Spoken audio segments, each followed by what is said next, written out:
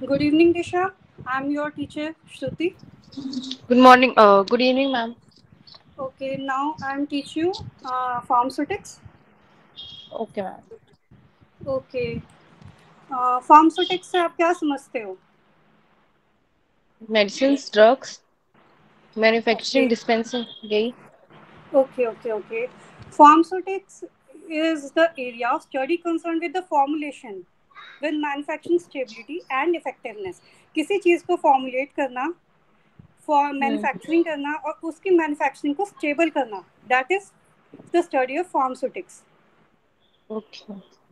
And effectiveness of pharmaceutical dosages form और इन pharmaceutical doses form से आप दिशा क्या समझते हो कौन सा फार्मास्यूटिकल डोजेज फॉर्म से आप क्या समझते हो बेटे कौन कौन से डोजेज फॉर्म का अंडर आती है इसके solid liquid semi solid okay आपकी सॉलिड स्क्रीन हाँ आपकी स्क्रीन नहीं दिख रही मैम हाँ जी। आपकी स्क्रीन नहीं दिख रही। स्क्रीन नहीं दिख रही है? ओके मैं मैं मैनेज करती हूँ। दो मिनट रुको आप।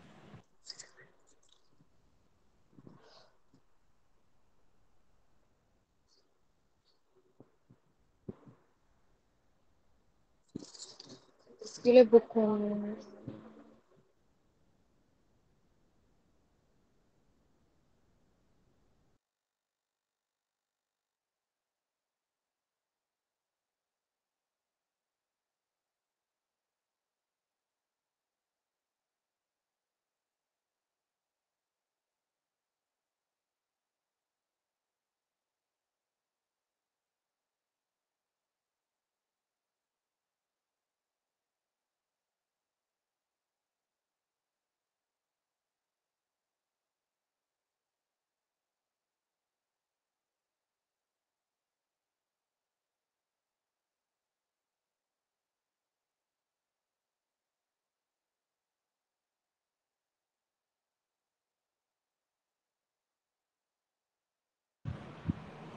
हेलो दिशा?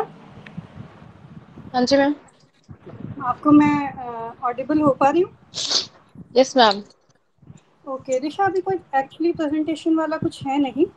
Generally okay. मैं आपको इंट्रोड्यूस करवा रही हूँ फार्मास्यूटिक्स से। बिकॉज़ मैं नहीं जानती कि आप नए हैं या आपने पहले फार्मेसी से आप टचअप है।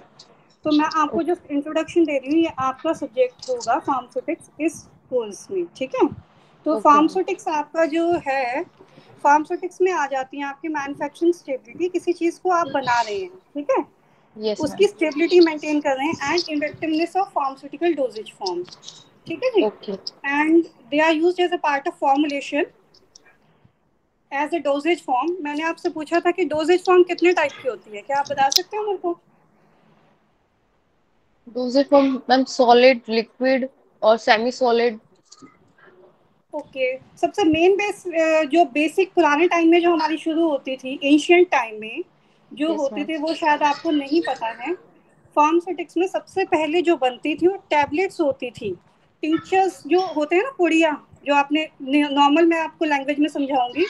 नॉर्मल जो टिंचर्स होते हैं अपने जो पाउडर्स होते हैं जो पुराने टाइम में जो कभी डॉक्टर्स दिया करते थे। इवन जो इन चाइल्डहुड आपने देख जो हाँ वो होंगे। वो पाउडर फॉर्म में देते थे।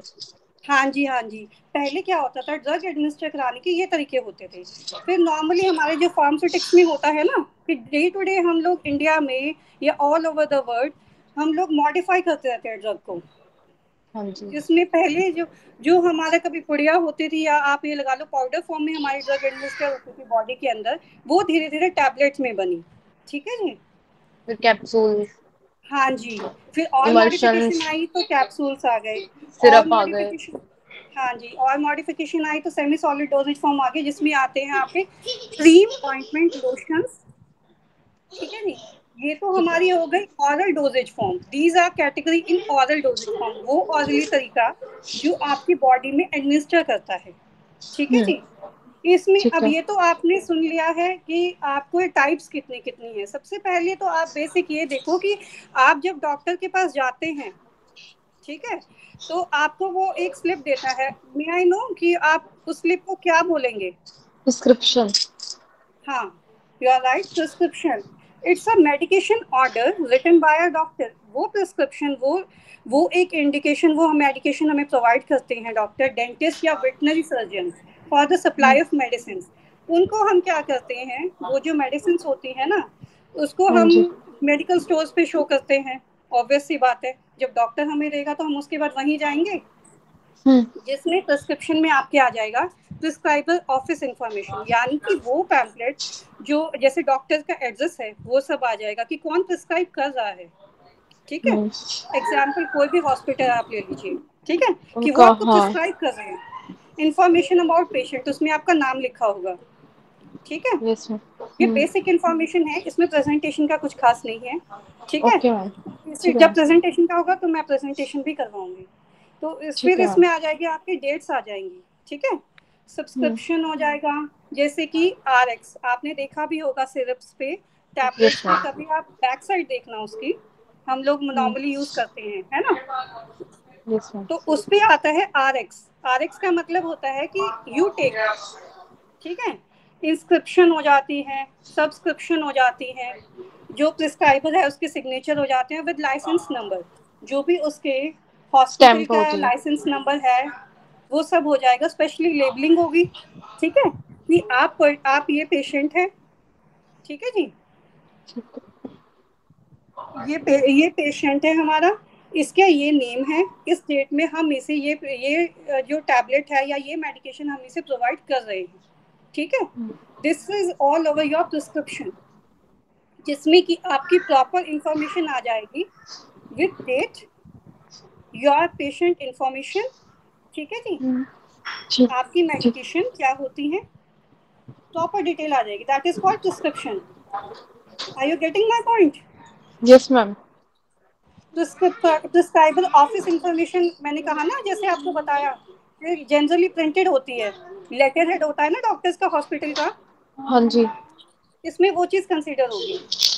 ठीक है जी? उसके बाद आ जाती है पेशेंट इंफॉर्मेशन ठीक है? जब आप इसे और क्लियर पढ़ेंगे तो आपको और अच्छे से क्लियर हो जाएगा। ठीक है? इसके बाद डेट जिस डेट में आपके पास जा रही है। ठीक है। आर को हम बोलते हैं सब्सक्रिप्शन ठीक है और लिखने के बाद ही मेडिकेशन स्टार्ट होती है। हाँ जी हाँ जी हाँ जी। Subscription is represented by symbol R X R is an abbreviation for the Latin word ये लेटिन से डिराइव हुआ है। Meaning you take take through ठीक है जी? ठीक है। हाँ जी।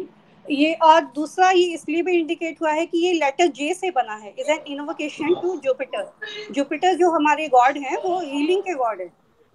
ठीक है? Is a combination of both meaning you take इसका मतलब भी जो जुपिटर है हमारे प्लैनेट हैं वो गॉड ऑफ़ हीलिंग है। ठीक है? इसका मतलब होता है कि आप कुछ ले रहे हैं। मीनिंग यू टेक मेडिकेशन और आप जल्दी से रिकवर कर सकता है। ठीक है? अब okay. मैं आपको इंस्क्रिप्शन के बारे में डिफाइन कराऊँगी। ठीक है नहीं? जैसे मेन पार्ट आपका प्रिस्क्रिप्शन है कि आप कहीं गए बीमार हैं हम्म। आप गए आपने डॉक्टर को चेकअप कराया डॉक्टर ने आपको प्रिस्क्रिप्शन लिख कर दी। ठीक है?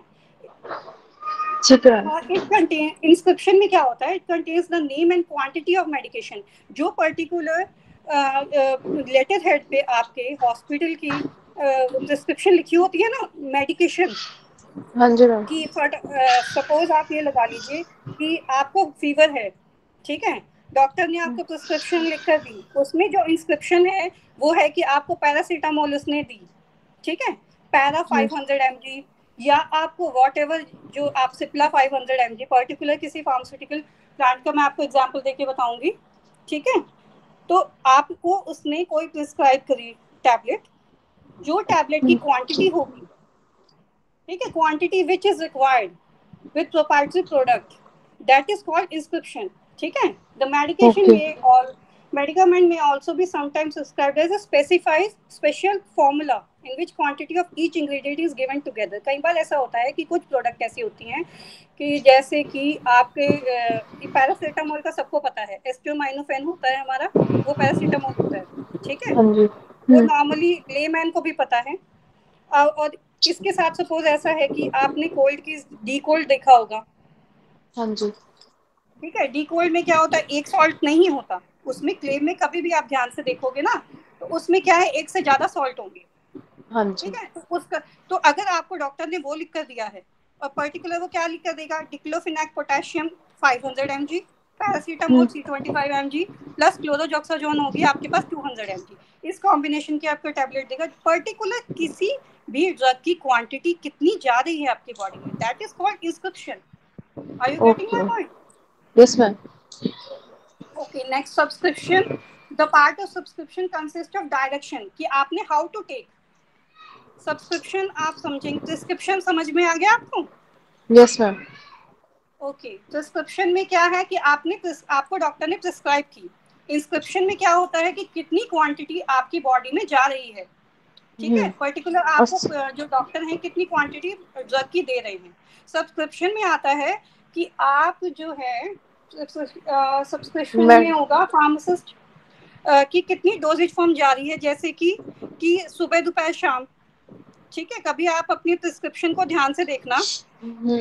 कि डॉक्टर आपको कहेंगे कि ये सुबह शाम लेनी है ठीक है ये आपको लेनी है सुबह दोपहर शाम या फिर हम्म, आपको हम्म। ये दिन में एक बार लेनी है ठीक है। जिसकी एक छोटी सी टर्म भी होती है अगर आपको कोई टैबलेट दो बार लेनी है तो उसको कहेंगे आप बी आई डी यानी कि ट्वाइस अ डे ठीक है? और अगर आप किसी टैबलेट को ले रहे हैं वन ठीक है? तो आप अभी छोटा सा आप एग्ज़ाम्पल देखना कि वो आपको छोटा सा गोला मार के देंगे ठीक है? सर्कल मार के देंगे कि आपने वन टाइम लेनी है। और अगर टू टाइम होगा तो वो आपको देंगे कि टू सर्कल्स करेंगे यानी कि सुबह शाम ठीक है? अगर तीन सर्कल्स होंगे यानी कि सुबह दोपहर शाम this is called your subscription कि आपकी डोजेज फॉर्म आपको कितने टाइम में डिस्पेंस करनी है? नंबर ऑफ़ डोजेज ठीक है? ठीक है आई ये सब्सक्रिप्शन आपको क्लियर हुआ? यस मैम ओके सिग्नेचर और सिग्ना इसमें क्या होता है कि जो पर्टिकुलर आपका जो सिग्नेचर्स होते हैं ना वो आ जाएँगे। This part of prescription consist of direction for the patient this direction also be placed on the label कि डायरेक्शंस क्या हो जाएँगी कि कैसे कैसे आपको लेना है। It usually indicates the quantity of medicament इसमें मेडिकामेंट की क्वांटिटी आएगी। नंबर ऑफ़ डोजेज यूनिट्स आएँगी कि आपकी कितनी डोज यूनिट्स जाएँगी आपके अंदर ठीक है? How much time in a day और what time to be administered और अप्लाइड कि कितने टाइम में आपको लेनी है कितने टाइम में आपकी बॉडी में एडमिनिस्टर होगी ठीक है? ओके। और इसके बाद आपका आ जाएगा ये आपको पर्टिकुलर ये आप समझ रहे हैं फार्मास्यूटिक्स के बारे में बेसिक है ये आपका ठीक है? The prescriber signature license number जो आपका प्रिस्क्राइबर है कोई भी हॉस्पिटल के जो भी डॉक्टर आपको प्रिस्क्राइब कर रहे हैं उनका लाइसेंस नंबर उसमें जाएगा। ठीक है जी? और special labelling and other instruction जाएँगे कि आप कितने टाइम में ले पा रहे हैं। ये आपको प्रिस्क्राइबर डिनोट करेगा। ओके क्लियर है आपको ये चीज़? यस मैम ओके सोलॉजी के बारे में अब हम पढ़ने जा रहे हैं। Posology deals with the dose और quantity of drugs which is administered to the product produce the therapeutic action posology का मतलब होता है कि वो डोज या वो क्वांटिटी ऑफ़ ड्रग जो कि बॉडी में जाकर थेरेपेटिक एक्शन प्रोवाइड करे। Okay dose of drug is the amount of medicinal preparation क्या आप मुझे डोज और डोजेज फॉर्म का डिफरेंशिएशन बता सकते हैं? डोज और डोसेस हाँ जी।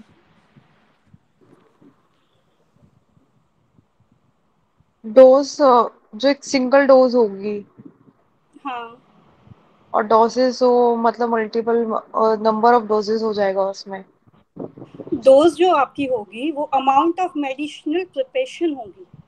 और radiation to be administered at one time ठीक है? वो अमाउंट ऑफ़ मेडिसिनल प्रिपरेशन जो कितनी अमाउंट आपकी बॉडी में एक टाइम में जाएगी। Administer okay. करोगे आप। दैट इज़ कॉल्ड डोज और डोजेज होगी डिटर्मिनेशन ऑफ़ द अमाउंट कि कितनी how much amount to be taken suppose dose का मतलब है वन टैबलेट ठीक है जी? और डोजेज का मतलब है कि डिटर्मिनेशन ऑफ़ द अमाउंट कितनी how much amount you need कि आपकी बॉडी में अगर 50 एम oh. की रिक्वायरमेंट है तो 50 ही जाए 50 uh, 50 से 51 ना हो जाए।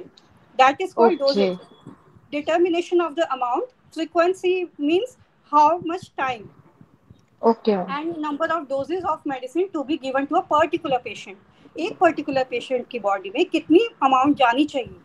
That is called dosages okay okay okay that is called posology इसमें आपकी कुछ कैलकुलेशन रहेंगी जैसे नॉर्मल है अगर कोई आपका यंग यंग चिल्ड्रन है children from two to twelve years तो वो hmm. उसको आप किस हिसाब से देंगे? चाइल्ड डोज के अकॉर्डिंग देंगे plus twelve years into adult dose adult dose भी नहीं होनी चाहिए चाइल्ड डोज भी नहीं होनी चाहिए। ठीक है? ऐसे आप लेके चलिए। सेकंड आपका आ जाता है इसमें क्लार्क्स रूल ठीक है जी? क्लार्क्स रूल में हो जाता है कि चाइल्ड डोज आ जाती है कि अगर कोई बच्चा पाउंड्स में है ठीक है hmm. जी? उसको कितना डोज जाएगा? ये okay. आपका क्लार्क्स रूल है। ये क्लार्क साइंटिस्ट ने डिनोट किया था। एक आपका आ जाता है फ़्लाइट रूल जो फॉर इन्फेंट्स के लिए होता है बेबीज के लिए जो कि मंथ्स के हैं। Suppose three month four month six month उसमें क्या होगा? इन्फेंट डोज आएगी। Okay. इस तरीके से आप ये डोजेज फॉर्म को डिनोट करेंगे। डोज और डोजेज में ये फ़र्क है। मैंने कहा ना डिटर्मिनेशन ऑफ़ द अमाउंट ठीक है जी? डायलिंग्स में यही होगा कि जो थ्री इयर्स से थोड़ा प्लस है उनको आप थोड़ा इंक्रीज कर देंगी। ठीक है? Okay. Now I am going to teach you dosages forms अब ये आ जाएगी आपकी। आपने अभी तक पढ़ा है फार्मास्यूटिक्स के बारे में कि फार्मास्यूटिक्स एक्चुअली होता क्या है? ठीक है? और इसके बीच में इसके अंडर आपके जो प्रिस्क्रिप्शन है इंस्क्रिप्शन है सब्सक्रिप्शन है ये सब आप सिग्ना और लेबल ये आपने सुटिक्स के अंडर आ जाते हैं। अब इसकी सुटिक्स के ही बहुत सारी ब्रांचेस हो जाती हैं ठीक है? Okay ma'am subject it's good subject also dosages form dosages form में आ जाता है कि मैंने कहा ना कि एशियंट टाइम से हमारा जो फार्मास्यूटिक्स है या हमारा फार्मेसी है ये ग्रो कर रहा है डे बाय डे पहले जो कभी पुड़िया होती थी या पाउडर फॉर्म में आप ड्रग एडमिनिस्टर करते थे वो धीरे धीरे टैबलेट बनी। ठीक है जी? टैबलेट हम्म। बनी जिसे आयुर्वेदिक में बाटी भी बोलते हैं। सुना होगा ये वर्ड बाटी। हाँ वाटी वाटी फॉर्म में वाटी भी बोलते हैं आयुर्वेदिक में। ठीक है जी? टैबलेट बोलते हैं एलोपैथी में। फिर आ जाता है और मॉडिफिकेशन लगा कि इससे थोड़ा सा और इम्प्रूव करना चाहिए तो हम आ गए कैप्सूल्स में। ठीक है? इससे और इम्प्रूव करना चाहिए तो हम आ गए सेमी सॉलिड डोजेज फॉर्म में। ठीक है? हम्म। जैसे जैसे मैं आपको आगे क्लियर करवाऊँगी आपको और क्लियर होता जाएगा। आपको अभी तक जो करवा रही हूँ क्लियर है ना? हाँ जी मैम बिल्कुल। ठीक है डोजेज फॉर्म में आ जाता है चलिए आगे चलिए। Drug are rarely used in the form of pure chemical substance but are given in the formulated preparation pure chemical को जब हम कोई फॉर्म दे देते हैं that is called dosages form formulation very from simple solution to complex drug delivery system जब हमारा कोई simple solution complex drug delivery system में चेंज uh, हो जाता है that is called dosages form just like a powder to tablet that is called simple solution to drug delivery system complex. Okay? And prepared by using one or non drug additives जिसमें कि drug तो होगी ही लेकिन उसके साथ कुछ additives भी डालेंगे कुछ एक्सिपियंट्स भी डालेंगे. That are specialise pharmaceutical function जिनका सिर्फ़ रोल प्ले होगा फार्मास्यूटिकल फ़ंक्शन को क्लियर करना are you getting my point yes ma'am these additives are used in the dosage form to sol solubilize suspension thickness, preservation, emulsify to improve the organoleptic properties. कोई भी tablet होती है ना वो एकदम ideal हाँ प्रॉपर्टीज़ में नहीं आ पाती उसके लिए हम्म। बहुत सारी उसके टर्म्स जुड़ जाती हैं जैसे कि आप अगर कोई टैबलेट बनेगी तो बहुत हम्म। उसको पहले वो ग्रेन्यूल्स फॉर्म में होगी फिर पंचिंग हम्म। होगी फिर टैबलेट बनेगी उसमें बाइंडिंग एजेंट डलेंगे डिसइंटीग्रेटिंग एजेंट डलेंगे। काफ़ी कुछ ऑर्गेनोलैप्टिक प्रॉपर्टीज़ इंप्रूव होने के बाद वो डोजेज फॉर्म आपकी एडमिनिस्टर करने के कैपेबल होगी। ओके okay अब इसमें ये लगाओ कि आप need for dosages form many of the substance are administered in very small quantities बहुत सारे ड्रग सब्सटेंसेस ऐसी हैं जो एमजीज में यूज़ होती हैं। आप कभी क्लेम हम्म। देखना पूछे किसी भी हाँ आप ये लगा लो। हाँ कोई भी मतलब आप टैबलेट्स मेडिसिन नॉर्मली घर में आती हैं। कभी आप पीछे देखेंगे ना टैबलेट्स में तो क्या होता है M C G M G उनका मतलब क्या हम्म। होता है? मिलीग्राम क्वांटिटीज वो क्वांटिटीज में डिस्क्राइब करते हैं which require these substance to be weight on sensitive balance ये एक सेंसिटिव बैलेंस पे वे की जाती हैं। पर्टिकुलर अगर किसी फार्मास्यूटिकल प्लांट में आप जाएँगे कभी विज़िट किया हो या नहीं किया हम्म। है तो मैं आपको बता सकती हूँ। तो उसमें क्या होगा जब कोई टैबलेट मैन्युफैक्चर हो रही होती है तो आप उसमें से एक लॉट निकाल के टेन टैबलेट्स का वेट कर हम्म। सकते हो। ठीक है जी? सेंसिटिव बैलेंस पे ये वेट होता है। बहुत सेंसिटिव इनफैक्ट इसमें एयर भी जाने की गुंजाइश नहीं होती। Due to the low dosages form ताकि कोई हमारी डोजेज में प्रॉब्लम ना आए। hmm. तो इसमें बहुत ज़्यादा हमें क्लीनलीनेस रखनी पड़ती है। Load and potent nature of the drug क्योंकि हर केमिकल का अपना कुछ पोटेंसी है। ठीक है ना? अब आप पोटेंसी है तो ये है कि हो सकता है इफ़ेक्ट कर जाए। हम थोड़ा सा भी लापरवाही करेंगे तो इफ़ेक्ट हो सकता है ना? हम्म। हाँ potent nature of the drug can not be taken by the patient himself when the dose when the dose of drug is minute 0.05 mg of drug ठीक है? किसी भी डोज में आप देखना ये क्लेम भी आपको मिल जाएगा कि 0.05 एमजी ठीक है? For some drug solid dosages form में मिलेगा ये आपको mostly such as tablet capsules and prepared with fillers ठीक है नहीं? और और dilute so that size of dosages form is large इसमें कुछ चीज़ मैंने कहा ना कि एडिटिव्स डल के तब आपकी जो भी आपकी टैबलेट्स है या फार्मास्यूटिकल डोजेज फॉर्म है वो इम्प्रूव हो जाती है। इसमें डोजेज फॉर्म में क्या होता है? हाँ provide a method for safe and convenient delivery of accurate dosages form main मकसद क्या है? मेन मोटिव क्या है डोजेज फॉर्म को बनाने का? हम पाउडर फॉर्म में तो भी तो ले सकते थे। क्यों हमने इतना मॉडिफाई किया उसको? पहली बात पहला पॉइंट आपका रहेगा ठीक है? Provide a method for safe and convenient delivery of accurate dosages form वो मेथड जिससे कि हमारी डोजेज फॉर्म सेफ़ रहे कन्वीनियंट रहे easy to take of accurate dosages form fine protect the drug from destructive effect of atmospheric oxygen हम लोग pharmaceutical plant में इतना क्यों हम लोग जो कहते हैं ना क्लीनलीनेस रखते हैं? ऐसी तो मेडिसिन नहीं बन सकती। ताकि हमारी हर केमिकल की अपनी टेंडेंसी होती है उस डिस्ट्रक्टिव इफ़ेक्ट को प्रोटेक्ट करने के लिए। हम एटमो ताकि एटमोसफियर से रिएक्ट ना कर जाएँ ठीक है? ऑक्सीडेशन ना हो जाए हाइड्रोलिसिस ना हो जाए एंड प्रोडक्शन ना हो जाए किसी भी टैबलेट में जब हम उसकी कोटिंग कर रहे हैं ठीक है? ओके ठीक है। हाँ, तो हम हम लोग बहुत सेफ़ कन्वीनियंट वे में लेके चलते हैं ताकि हमारी ड्रग मॉडिफाई भी रहे और हमें इफ़ेक्ट भी दे protect the drug from degradation by gastric acid from oral administration अब हमारे हम कोई भी ड्रग आप अंदर इंटेक करते हैं तो हमारे G I T gastric intestinal fluid भी आता है ठीक है? Yes, तो हम ड्रग इस तरीके से भी प्रोटेक्ट करते हैं कि अगर वो हमारे अंदर जा रही है जीआई में तो वो प्रोटेक्ट hmm. रहे एंड और वो डिस्कार्ड ना हो जाए डिग्रेड ना हो जाए तो उसके लिए हम. क्या करते हैं कि हम ड्रग के ऊपर एक एंटेरिक कोटिंग लगाते हैं ठीक है? जो कि ड्रग को डिजोल्व होने में थर्टी मिनट्स लगाएगी एंटेरिक कोटिंग लेकिन. वो क्या होगा जब वो आपकी बॉडी में मर्ज हो जाएगी आपके ब्लड में डिजोल्व हो जाएगी तो इफ़ेक्ट बहुत अच्छा देगी। ठीक है? एंटेरिक कोटिंग में भी given of tablet and capsules may be enteric coating इसमें यूज़ होती है। ठीक है? और इसमें एंटेरिक कोटिंग होने के बाद हम इसमें फिर क्या देखेंगे? अब ये तो हमने कोटिंग देख ली कि पेशेंट का हम्म। हमें ध्यान रखना है ना कि पेशेंट इंटेक हम्म। तो करेगा नहीं। अब छोटा सा कोई बेबी है आप उसको टैबलेट देने लगो। क्या वो लेगा? नहीं। बिल्कुल नहीं लेगा मना करेगा। तो आप क्या करोगे उसमें? वो मेथड देखोगे ना कि जिससे सेफ़ रहे कन्वीनियंट रहे।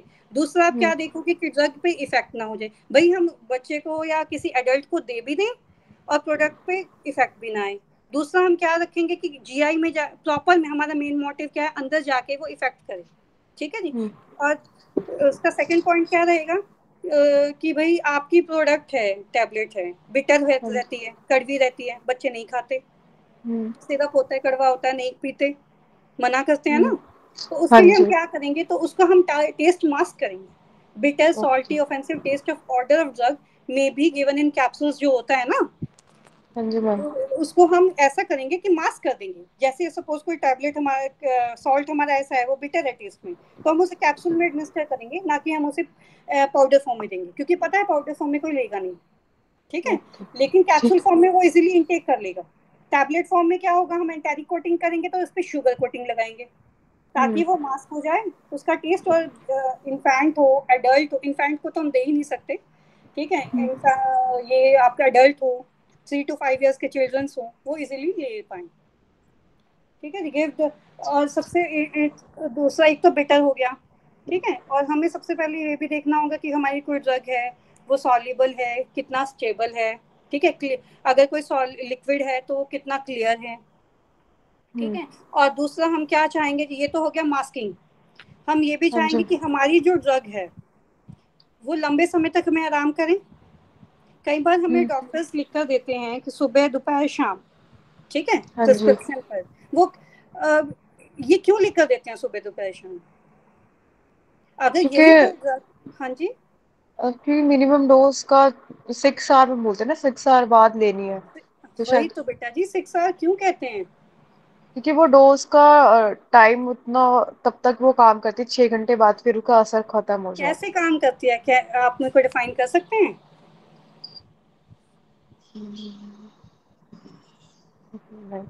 Sorry okay I will tell you कोई आप कोई टैबलेट ले रहे हैं ठीक है? हाँ मैंने कहा ना कि टैबलेट है या कैप्सूल है ये क्या है? आपका आप इनटेक कर रही हैं। हाँ जी। इनटेक करने के बाद इसके आपने तो इनटेक कर लिया ग्लास ऑफ़ वाटर लिया ल्यूक वार्म इनटेक कर लिया हम्म, आपने। लेकिन आपको अंदर की प्रोसेसिंग तो नहीं पता। आपको ये हाँ पता है कि हाँ, दस मिनट में आराम हो जाएगा आधे घंटे में आराम हो जाएगा वो आराम कैसे होगा? जब आप उसे इंटेक करेंगी तो वो आपके पहले क्या होगा टैबलेट है तो वो डिसइंटीग्रेट करेगी क्योंकि उसमें डिसइंटीग्रेटिंग एजेंट डाला है। ठीक हाँ है? हम्म। पहले जब टैबलेट बनती है तो हम बाइंडिंग एजेंट डालते हैं कि वो बाइंड कर जाए। जब उसमें डिसइंटीग्रेटिंग एजेंट भी डालते हैं कि जब वो बॉडी में जाए तो वो डिसइंटीग्रेट हो हाँ हाँ डिसइंटीग्रेट हो फिर डिसोल्यूट हो। आपके जो है आपकी बॉडी में जाके। डिजिल्यूट होगी तो वो ब्लड में सप्लाई होगी ब्लड में मिक्स होगी। ठीक है जी? ब्लड में मिक्स होगी तो वो आपकी बॉडी पे इफ़ेक्ट करेगी। जब आपकी बॉडी का अगर टेम्परेचर डाउन होने लगे तो समझ जाइए कि वो आपके ब्लड में डिजोल्व हो चुकी है। ठीक है। है? हाँ जी। ब्लड में डिजोल्व होने के बाद फिर क्या होता है? जितना उसे टाइम आपको देना है जितना हम्म। इफ़ेक्ट करना है करने के बाद वो आपके एक्सक्रीटरी सिस्टम से या तो वो यूरिन के थ्रू एक्सक्रीट होगी या वो एक्सक्रीटरी सिस्टम के थ्रू बाय लिवर और बाय किडनी इनके हम्म। इन दो ऑर्गन्स के थ्रू वो आपकी डिस्कार्ड हो जाएगी। ठीक है? बिना आपकी बॉडी में टॉक्सिक इफ़ेक्ट डाले बिना आपकी बॉडी में कोई साइड uh, इफ़ेक्ट डाले वो ऐसे ये इस तरीके से कोई भी ड्रग आपकी है वो अंदर जाएगी। ठीक है जी? है इसीलिए इसमें जो आपका है ना obtain rate controlled and sustain release इसका मतलब है कि हम मैंने कहा ना फार्मा में हम लोग हर डे बाय डे ग्रो कर रहे हैं। हाँ चाहे वो कोविड टाइम में किया है चाहे वो नॉर्मल डेज़ में किया है तो हर हम्म दिन एक रिसर्च चलती है।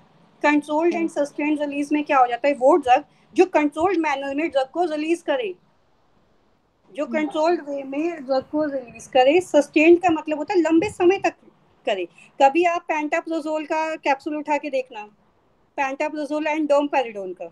सस्टेन लिखा होगा डी हाँ डी एस आर यानी कि की फुल फॉर्म पता है आपको? एसआर उसमें डीएसआर ओ एसआर की सस्टेन रिलीज़ होती है। हाँ तो की क्या होती है? डी की नहीं पता।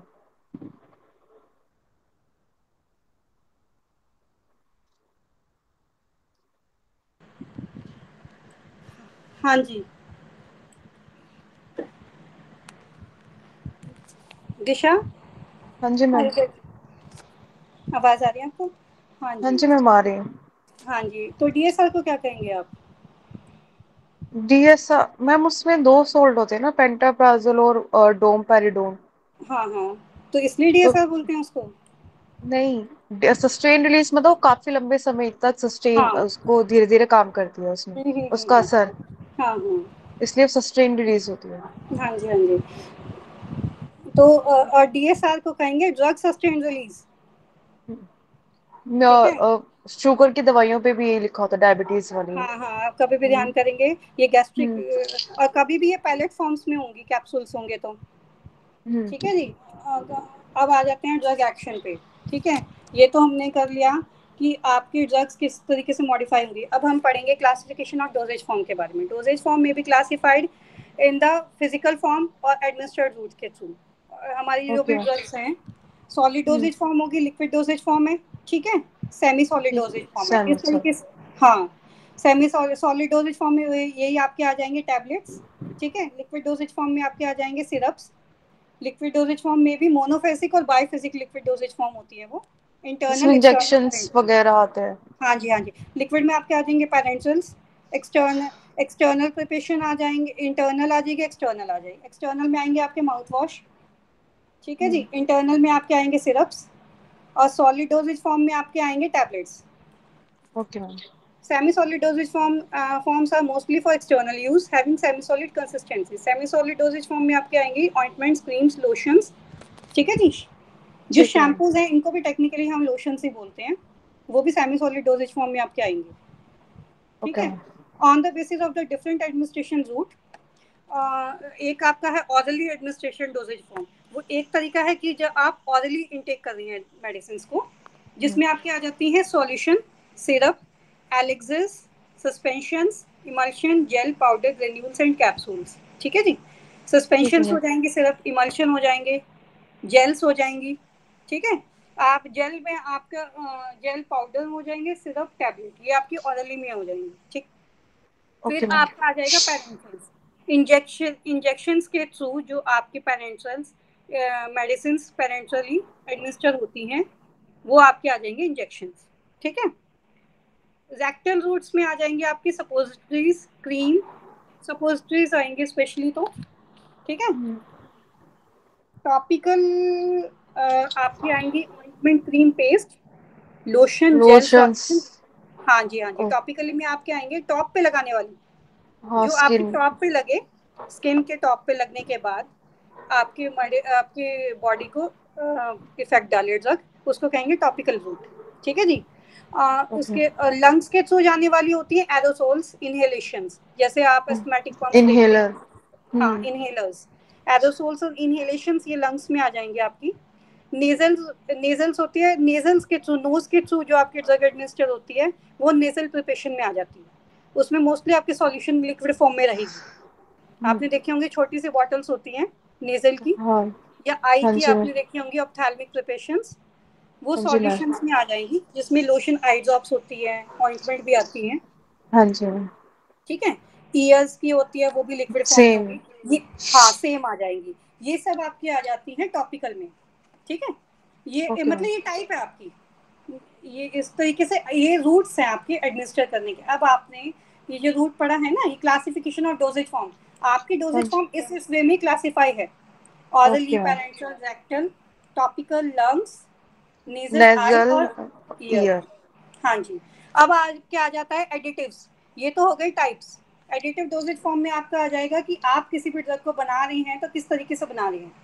उसमें क्या क्या डलता है? हाँ क्या क्या डलता है? Addition of dosage form and the form depends on additives added. And additive is a non drug component.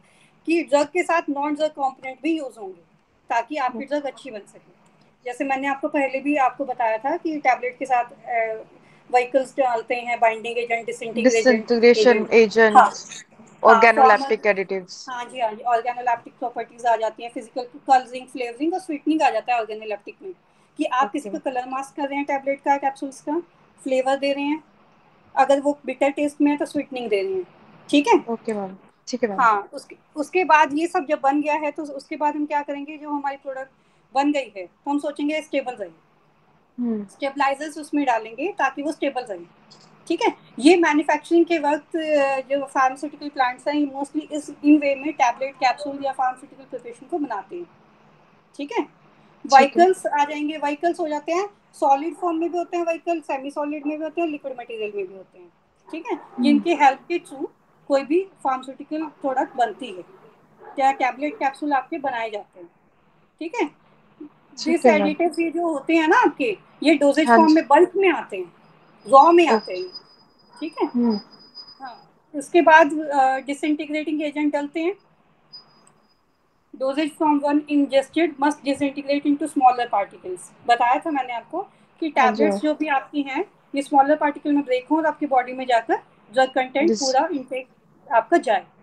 For example in tablets disintegrating agent are added to break the tablet into smaller particles ठीक है जी? पर ये इस हाँ ma'am इसमें फिर capsule में तो नहीं होता होगा कैप्सूल तो ग्रैनुल्स फॉर्म में पाउडर फॉर्म से कैप्सूल्स में भी ऐसा होता है कैप्सूल्स हमारे जो है एक टाइप के ही कैप्सूल्स नहीं बनते हैं हमारे। अनकोटेड भी बनते हैं कोटेड भी बनते हैं ठीक है?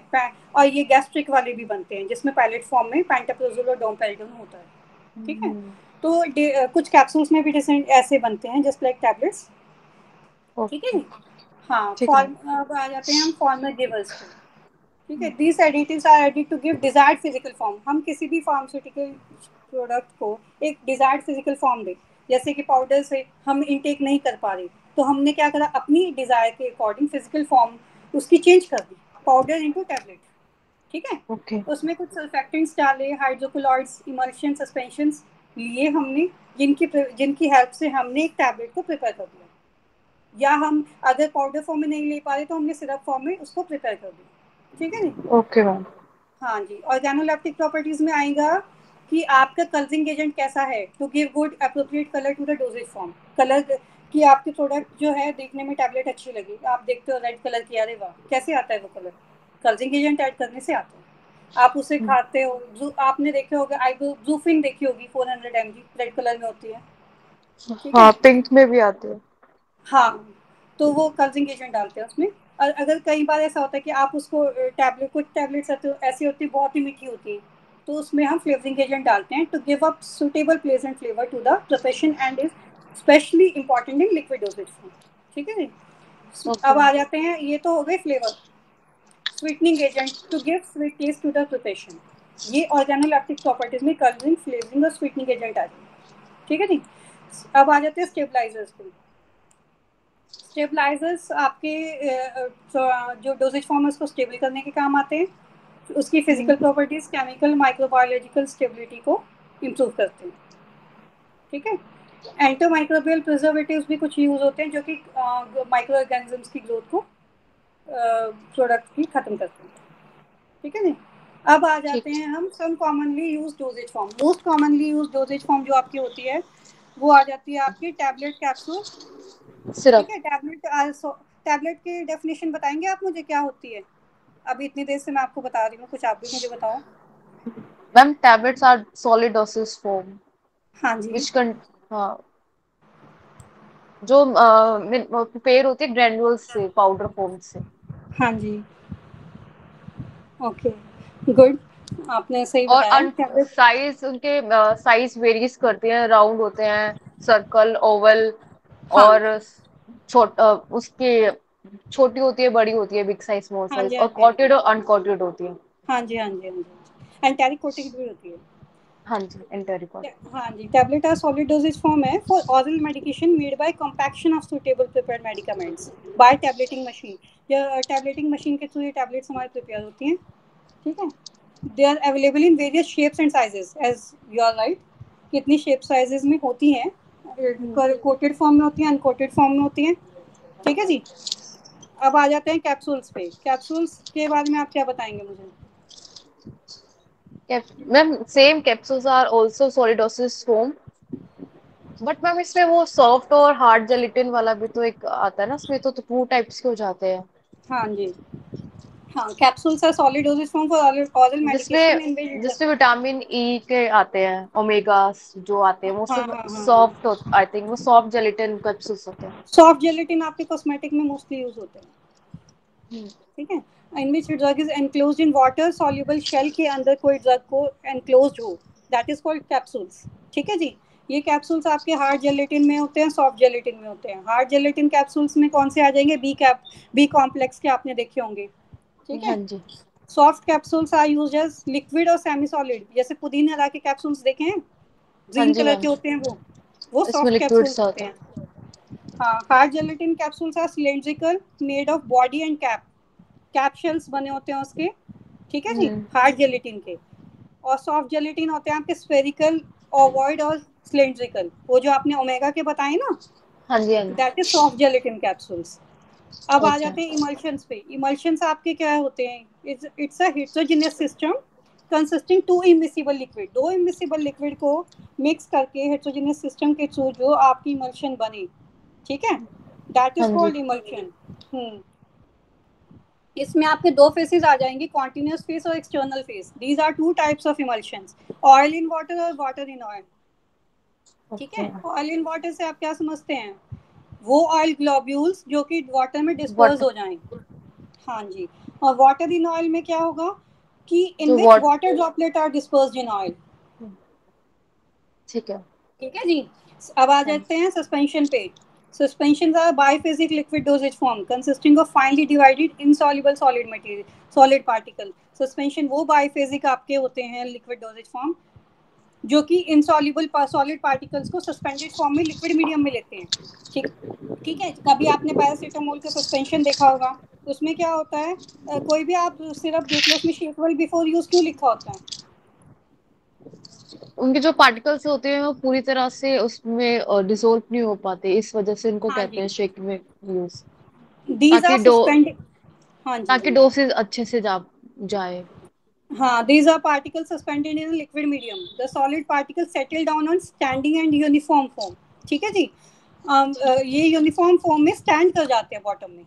इसलिए हम लोग क्या करते हैं? सस्पेंशन को हम पहले शेक करते हैं. इसीलिए किसी भी आप लेवल पे देखोगे सिरप के तो शेक वेल बिफोर यूज़ लिखा होगा। डाइजीन का भी एसएससी में आता है ना? हाँ जी। मेन मोटिव मेन मोटिव उसका यही रहता है ठीक है? अब पढ़ेंगे आप लेनिमेंट्स के बारे में। लेनिमेंट्स क्या होते हैं? लेनिमेंट्स वो लिक्विड प्रिपरेशन होगी आपकी ठीक है जो एक्सटर्नल यूज़ होगी। Alcoholic solution oily solution emulsion होते हैं ना जैसे ऑयली सॉल्यूशन से। हाँ जी ठीक है जैसे आप लगा लो कि मसाज ऑयल टाइप के होते हैं ना हम्म। ये आपके लिनिमेंट्स में आ जाएँगे। ठीक है? अब लोशन लोशन से क्या समझते हो? लोशन सेमी लिक्विड में आ, आते हैं मैम वो सेमी लिक्विड हाँ लोशन आपके सेमी लिक्विड में नहीं आते हैं। लोशन आपके एक्वस सॉल्यूशन और सस्पेंशन में आते हैं। Suspension use for application to the skin surface ठीक है जी? These are apply to the unbroken skin lotion जैसे कई बार आप देखते हो कहीं चोट लग जाती है तो वो लोशन हम्म। हम यूज़ करते हैं। ठीक है? बिना विदाउट सेक्शन सॉफ्टली यूज़ किया और एप्लीकेट किया स्किन पे उसने इफ़ेक्ट डाल दिया ठीक है? अब उसके बाद फिर आ जाते हैं आपके paints paint also liquid preparation होती है एक्सटर्नल में जो माउथ पेंट्स आते हैं। हाँ माउथ पेंट आते हैं गम पेंट आते हैं जिसमें कि आपके क्लोट्रिमाजोल के गम पेंट्स मोस्टली आप देखोगे वो बनते हैं। हाँ जी। ठीक है? क्लोट्रिमाजोल के बनते हैं आपके गम पेंट्स एक है एक है benzalkonium chloride lignocaine hydrochloride के बनते हैं जो सर्जरी सर्जरीज हो जाती है गम की उनमें यूज़ होते हैं। ठीक है? ईयर ड्रॉप्स आपके यूज़ होते हैं ईयर ड्रॉप्स आपकी यूज़ होती हैं। ये एक फॉर्म्स हैं ठीक है? आप इनको मीन वाइल पढ़ेंगे तो आपको और क्लियर होगा गार्गल्स हैं। या बीटाडीन देखी होगी गार्गल्स में आपने? हाँ शॉर्ट में पेन होता है गार्गल करते हैं। हम्म। वो भी एक्सटर्नल प्रिपरेशन में आती है ठीक है? माउथ वॉशेज होते हैं। माउथ वॉश कौन कौन से देखे हैं कौन कौन से हैं मार्केट में? मार्केट में लिस्ट्रीन हो गया और हम्म। क्या डला होता है उनमें? कभी ध्यान किया ध्यान तो क्या था अभी ध्यान में नहीं आ रहा। ओके कोई नहीं मैं बता देती हूँ। हम I will teach you mouth wash chlorhexidine gluconate के माउथ वॉश मोस्टली हाँ, आते हैं। क्लोरोहेक्सिडिन क्लोरोहेक्सिडिन के आते हैं क्लोरोहेक्सिडिन जिंक क्लोराइड के साथ आते हैं कॉम्बिनेशन में। ठीक है? वो आपके माउथ के जो मिंट फ्लेवर होता है। मिंट फ्लेवर डाल देते हैं अलग हाँ हाँ हाँ हाँ। फ्लेवर डलते हैं कलरिंग डलते हैं ताकि मॉडिफाई हो सके प्रोडक्ट और मार्केट में वो अच्छे से जा सके। ठीक है?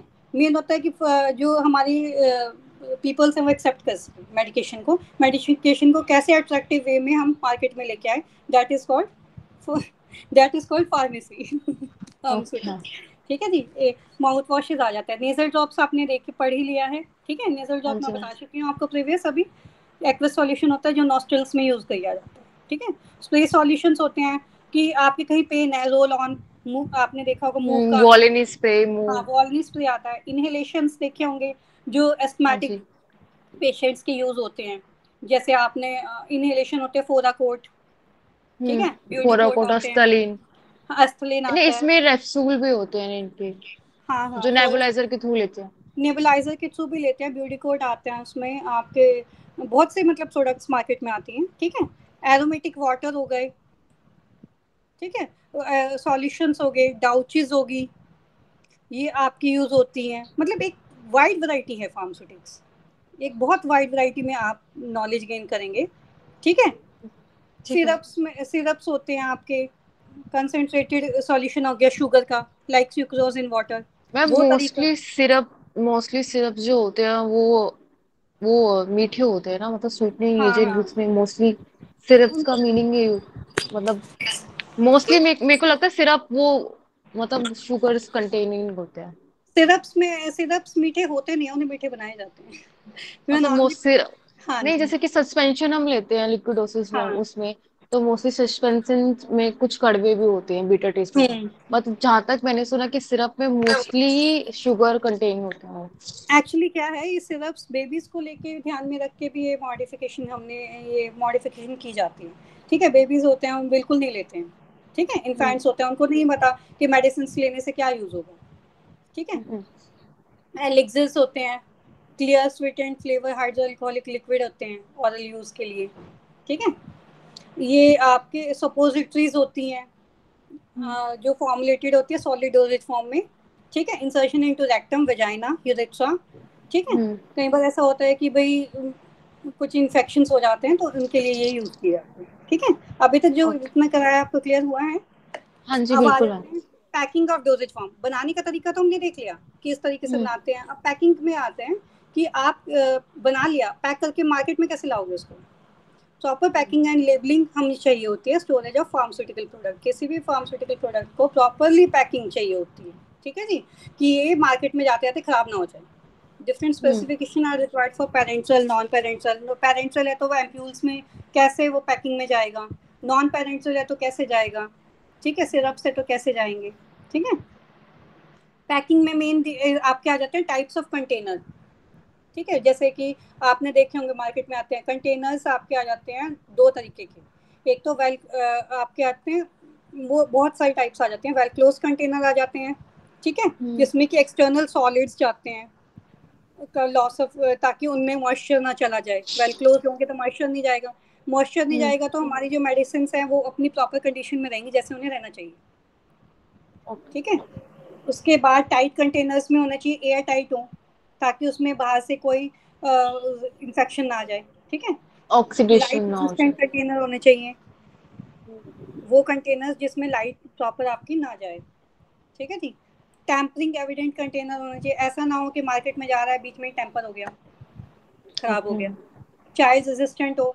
ऐसा चाइल्ड रेजिस्टेंट का मतलब है कि बच्चे हैं देखेंगे फटाफट से खोल लेंगे। हम्म। ऐसा नहीं होना चाहिए। चाइल्ड रेजिस्टेंट हो। तो पैकिंग के भी एक टाइप्स हैं ठीक है? अकॉर्डिंग टू नंबर जो आपके हैं ठीक है? उसमें आ जाते हैं जैसे ग्लास कंटेनर्स में कुछ मेडिसिन जाती हैं ठीक है? हाँ जी।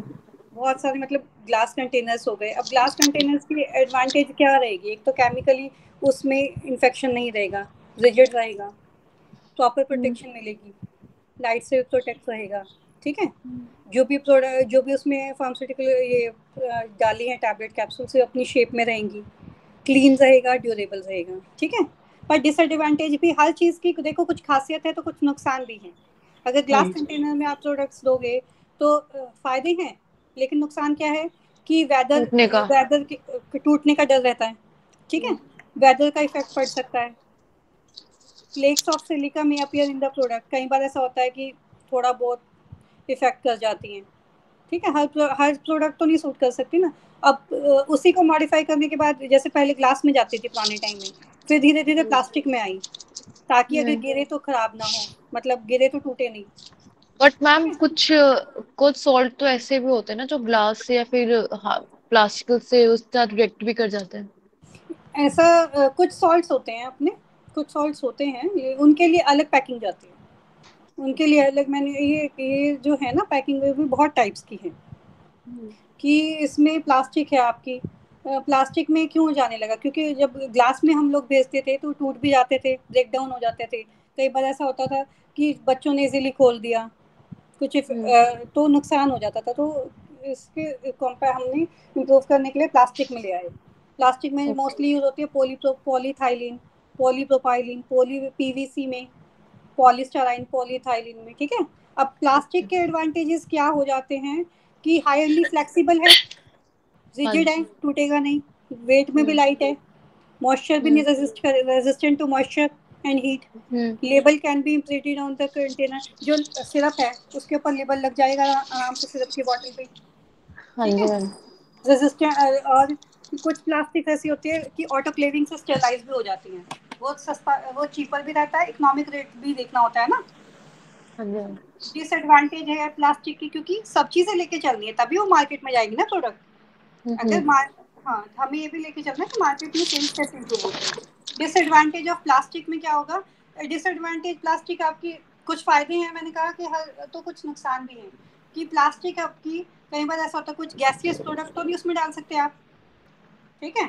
लो हाँ। स्ट्रेंथ हाँ कुछ प्लास्टिक की लो स्ट्रेंथ होती है आप हीट में जाएगा वो थोड़ा कहते हैं ना सॉफ्ट सा हो जाता है। Some plastic cannot stand with high temperature कुछ गर्म रखा पिघल गए। उसके साथ जग भी पिघल गए प्लास्टिक में absorb ingredients of the product ठीक है? तो हर चीज़ के ये तो हो गई आपकी टाइप्स ठीक है जी? हम्म, इसके बारे में आपको कितना क्लियर हुआ अभी तक जितना करवाया है? हाँ मैम क्लियर हुआ अच्छे से। अच्छा अब हम अब हम आपको दूसरा चैप्टर कराएँगे। ठीक है जी? ठीक है मैम। फाइव मिनट्स के लिए होल्ड कीजिए आप। ठीक है मैम।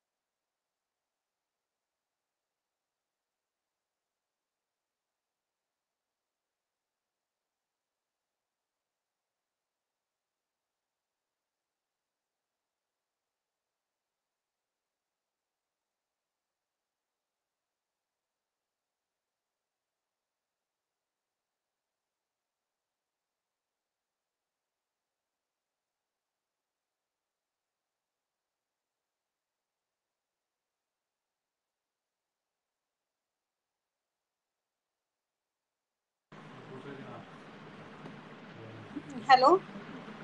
दिशा? हाँ जी मैम। हाँ जी। दिशा हम यूनिट सेकंड करने जा रहे हैं। ठीक है? और हाँ एज टाइम हमारे पास अ, इस unit के लिए बहुत कम रहेगा क्योंकि टू डेज़ है। आपको टू डेज़ में ये यूनिट्स कम से करनी है। ठीक है अब हम पढ़ेंगे यूनिट सेकंड में solid and liquid dosage form आ जाती है। ठीक है? ठीक है मैम। हाँ सॉलिड डोजेज फॉर्म का जैसे आपने प्रीवियस भी अपने अभी क्लियर किया है मेरे साथ ठीक हाँ। तो अब मैं आपको सॉलिड डोजेज फॉर्म में आपकी थोड़ी इंट्रोडक्शन करवाऊँगी। अब इनको वास्ट पढ़ेंगे हम। हाँ जी हाँ जी हाँ जी थोड़ा फास्ट पढ़ेंगे। ओके मैम अगर आपको थक गए हो थोड़ा ब्रेक लेना हो तो बताओ। नो मैम नहीं मैं ये कह रही थी कि अभी इनको सॉलिडोसिस में हमने ऊपर से डेफिनेशंस पढ़ी थी अब इनके बारे में अच्छे से पढ़ेंगे वास्ट हाँ जी हाँ जी हाँ जी हाँ जी। तो थोड़ा स्पीड बढ़ाएँगे। थोड़ा आप भी समझ स्पीड बढ़ाना। हाँ बिल्कुल मैम समझ तो मुझे अच्छे हाँ से आ रहा है। ओके ओके आना भी चाहिए। हाँ आप अच्छा पढ़ा रहे हो। थैंक यू ठीक है मैम स्टार्ट करते हैं।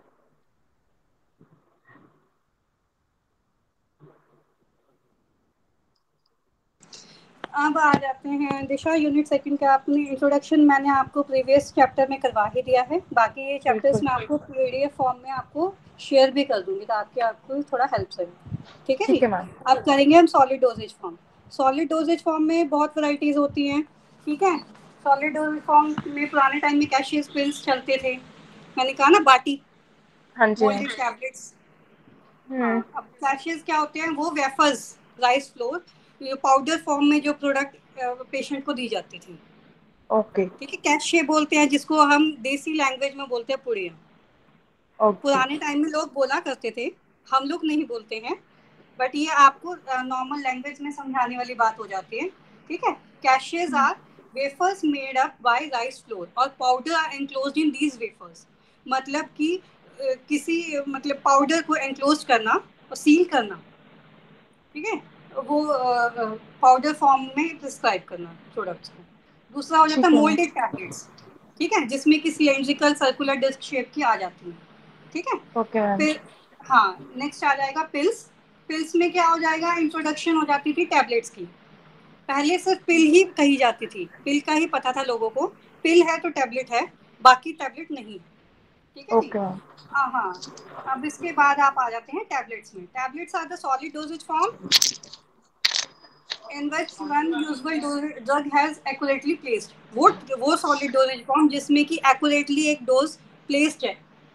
ठीक है? They are the most popular medication पुराने टाइम में सबसे ज़्यादा या तो पिल्स फ़ेमस थी या फिर टैबलेट्स फ़ेमस थी। ठीक है? टैबलेट्स की मैंने आपको प्रीवियस डिस्क्रिप्शन दे भी दी है। तो आई डोंट थिंक सो बहुत क्लियर आपको करने की ज़रूरत पड़ेगी। ठीक है? Okay ma'am. हाँ टैबलेट्स में आपके एडवांटेजेस आ जाती हैं डिसएडवांटेजेस आ जाते हैं। मैंने कहा कि हर फार्मास्यूटिकल प्रोडक्ट जब कोई बनती है कोई उसके भी दोनों होते हैं। उसके एडवांटेजेस भी होंगे और डिसएडवांटेजेस भी होंगे। एडवांटेजेस में क्या है कि इजीली टू एडमिनिस्टर हम चाहेंगे हाँ। एडवांटेज में क्या है हम चाहेंगे कि हमें करेक्ट डोज एडमिनिस्टर हो जाए। ठीक है? हम्म। और उसकी कॉस्ट भी सस्ती हो हमें सस्ते में चीज़ मिले जो कि एक हम्म। नॉर्मल ह्यूमन की इच्छा रहती है। ठीक है? कि हाँ एडमिनिस्टर हो सके करेक्ट डोज हमें कॉस्ट भी सस्ती रहे हमारी डोजेज फॉर्म स्टेबल भी रहे और कन्वीनियंट टू कैरी उसके लिए हम्म। बनाई गई टैबलेट और वो और इजीली टू स्वेलो ये कुछ डिस हाँ कुछ एडवांटेजेस हैं कि हम लोग ये एडवांटेजेस चाहते थे पर डिसएडवांटेजेस भी होती है किसी चीज़ की जब कोई चीज़ मार्केट में आती है तो क्या होता है हम्म। तारीफें भी होती हैं और उसकी अ, बुराइयाँ भी होती हैं। बुराइयाँ भी होती हैं। हाँ है। एग्जैक्टली तो अब ये तो बढ़ लिया आपने एडवांटेजेस डिसएडवांटेज में क्या हो जाता है? कई बार ऐसा है कि कुछ पाउडर्स तो कंप्रेस नहीं होते थे टैबलेट में पुराने टाइम में। हम्म वो अभी टूट भी जाते हैं। आज हाँ। भी मैम जो इकोस्प्रिन आती है ना हाँ जी। इकोस्प्रिन टैबलेट वो भी अब ना कभी कभी टूट जाती है। मॉल में जो हाँ जी। गवर्नमेंट हॉस्पिटल में हम जब लेते हैं ना पता लगता है कि पड़ोस में कहते पाउडर से हो जाती है निकलते ही। तो वो अच्छा। हाँ। अच्छे से कंप्रेस नहीं होती। कुछ मेडिसिन होती हैं जो टूट जाती। हाँ बिल्कुल इजी इजी टू ब्रेक हो जाती थी वो। और कुछ मेडिसिन होती हैं कि मॉइस्चर गेन कर लेती है। हाँ एग्जैक्टली तो हर हम्म। टैबलेट बनी है फ़ायदे हैं कि इजीली आज़ादी है और इस सब कुछ हो रहा है। और इसका एक डिसएडवांटेज ये भी कि बच्चे टैबलेट नहीं ले सकते। बिल्कुल। उनके लिए अच्छा हाँ ये भी उनके लिए फिर और मॉडिफिकेशन आई। अब क्या हो जाता है हम्म। कि नहीं ले पाए ये तो डिसएडवांटेज होगी। टाइप्स ऑफ़ टैबलेट अपनी हो जाती हैं। ओल्ड ओल्ड पीपल भी नहीं एजेड पीपल भी नहीं ले पाते। एज भी नहीं ले पाते। तो क्या हो हम्म जाता है हम टाइप्स ऑफ़ टैबलेट हमने बनाई। अब भाई हमें तो मार्केट में पेशेंट की ही नीड को देख के ध्यान रख के बनानी है चीज़ें। ठीक है? हम्म। उसमें क्या होता है हमने लॉन्च टैबलेट्स बनाई। लॉन्चेस मोस्टली यूज़ होती हैं आपके। जब शॉर्ट में पेन होता है ना विक्स की टैबलेट सुनी है विक्स की टैबलेट करो। दैट इज़ कॉल्ड लॉन्च ठीक है? अब आ जाता है सॉल्यूशन हाँ that is called lozenges Strepsils lozenges are the solid dosage form that do not disintegrate readily. धीरे धीरे वो आपकी बॉडी में जाएगी स्लोली थ्रू जैसे आप माउथ में रखते हो धीरे धीरे धीरे धीरे वो स्लोली आपके माउथ से डिजोल्व होगी और आपकी लोकल एक्शन में इफ़ेक्ट करेगी. लोकल एक्शन से मतलब होता मैम है जो कैंडीज जो कैंडीज आती हैं वो फिर इसी में ही आती हैं इसी का टाइप हाँ होगा फिर वो? कैंडीज लॉन्जेस मैंने कहा ना विक्स हो गई। ये और हम्म लोकल एक्शन का मतलब होता है पर्टिकुलर आपके मानो चोट में इन्फेक्शन है।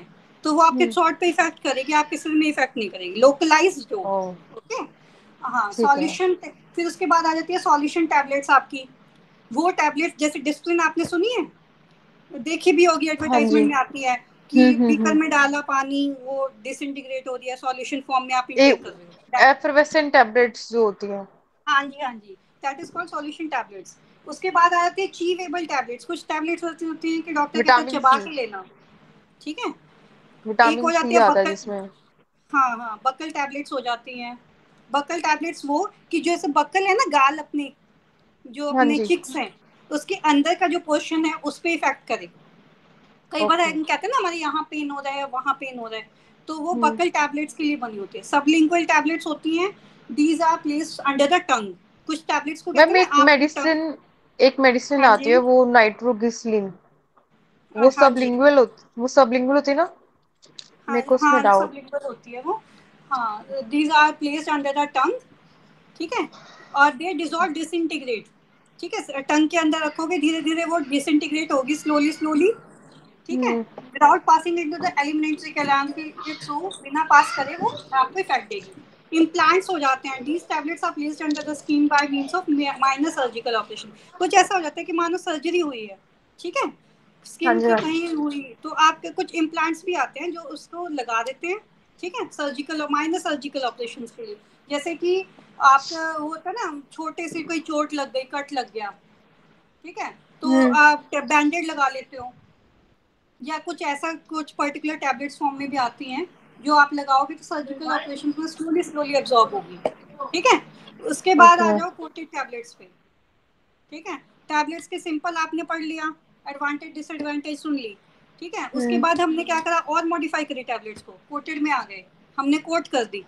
पेशेंट ने हमें हम्म। कहा हमें कड़वी लगती है हमें अच्छी नहीं लगती देखने में अच्छी नहीं लगती। तो हमने क्या किया? सब मेडिकेशन कोटेड फॉर्म में ले आए उसको। ठीक है? ओके। हाँ कोटेड विद शुगर और film made from suitable polymer से हमने उसको कोट कर दिया ताकि हमारे जो पेशेंट्स हैं उसको इजीली इनटेक कर सके। ठीक है? ओके उसमें आ जाता है to provide physical and chemical protection to the drug इससे क्या हम्म होता है कि जो हमारे केमिकल्स हैं वो फिजिकली केमिकल प्रोटेक्शन रहेगी ड्रग को। ठीक है? हम्म। अपीयरेंस देखने में अच्छी लगेगी। हम्म। ठीक है? टू हाँ जी to mask the unpleasant taste उसका टेस्ट अनप्लेजेंट रहेगा ठीक है? उसका मास्क हो जाएगा। अब मेथड ऑफ़ प्रिपरेशन क्या है?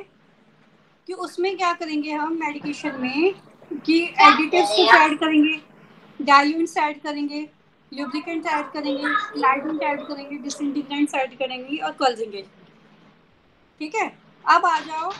आपने कोटेड और अनकोटेड दोनों पढ़ लिया है। हाँ जी मैम। ठीक है? पैकिंग अब आ जाओ पैकिंग ऑफ़ टैबलेट आप समझ भी चुके हो अनकोटेड कोटेड में क्या फ़र्क होता है।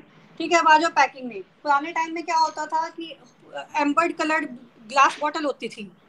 ठीक है? हाँ आपने छोटा होता देखा भी होगा कि ब्राउन ब्राउन से कलर की बॉटल होती थी वो एक्चुअली में ब्राउन नहीं कहते उसको एम्बर कहते ठीक है? जार में होती थी या वाइल में होती थी बॉटल्स उस तरीके से पुराने टाइम में होती थी। अब से आप चाइल्डहुड में अपने जाओगे तो वहाँ। ठीक है?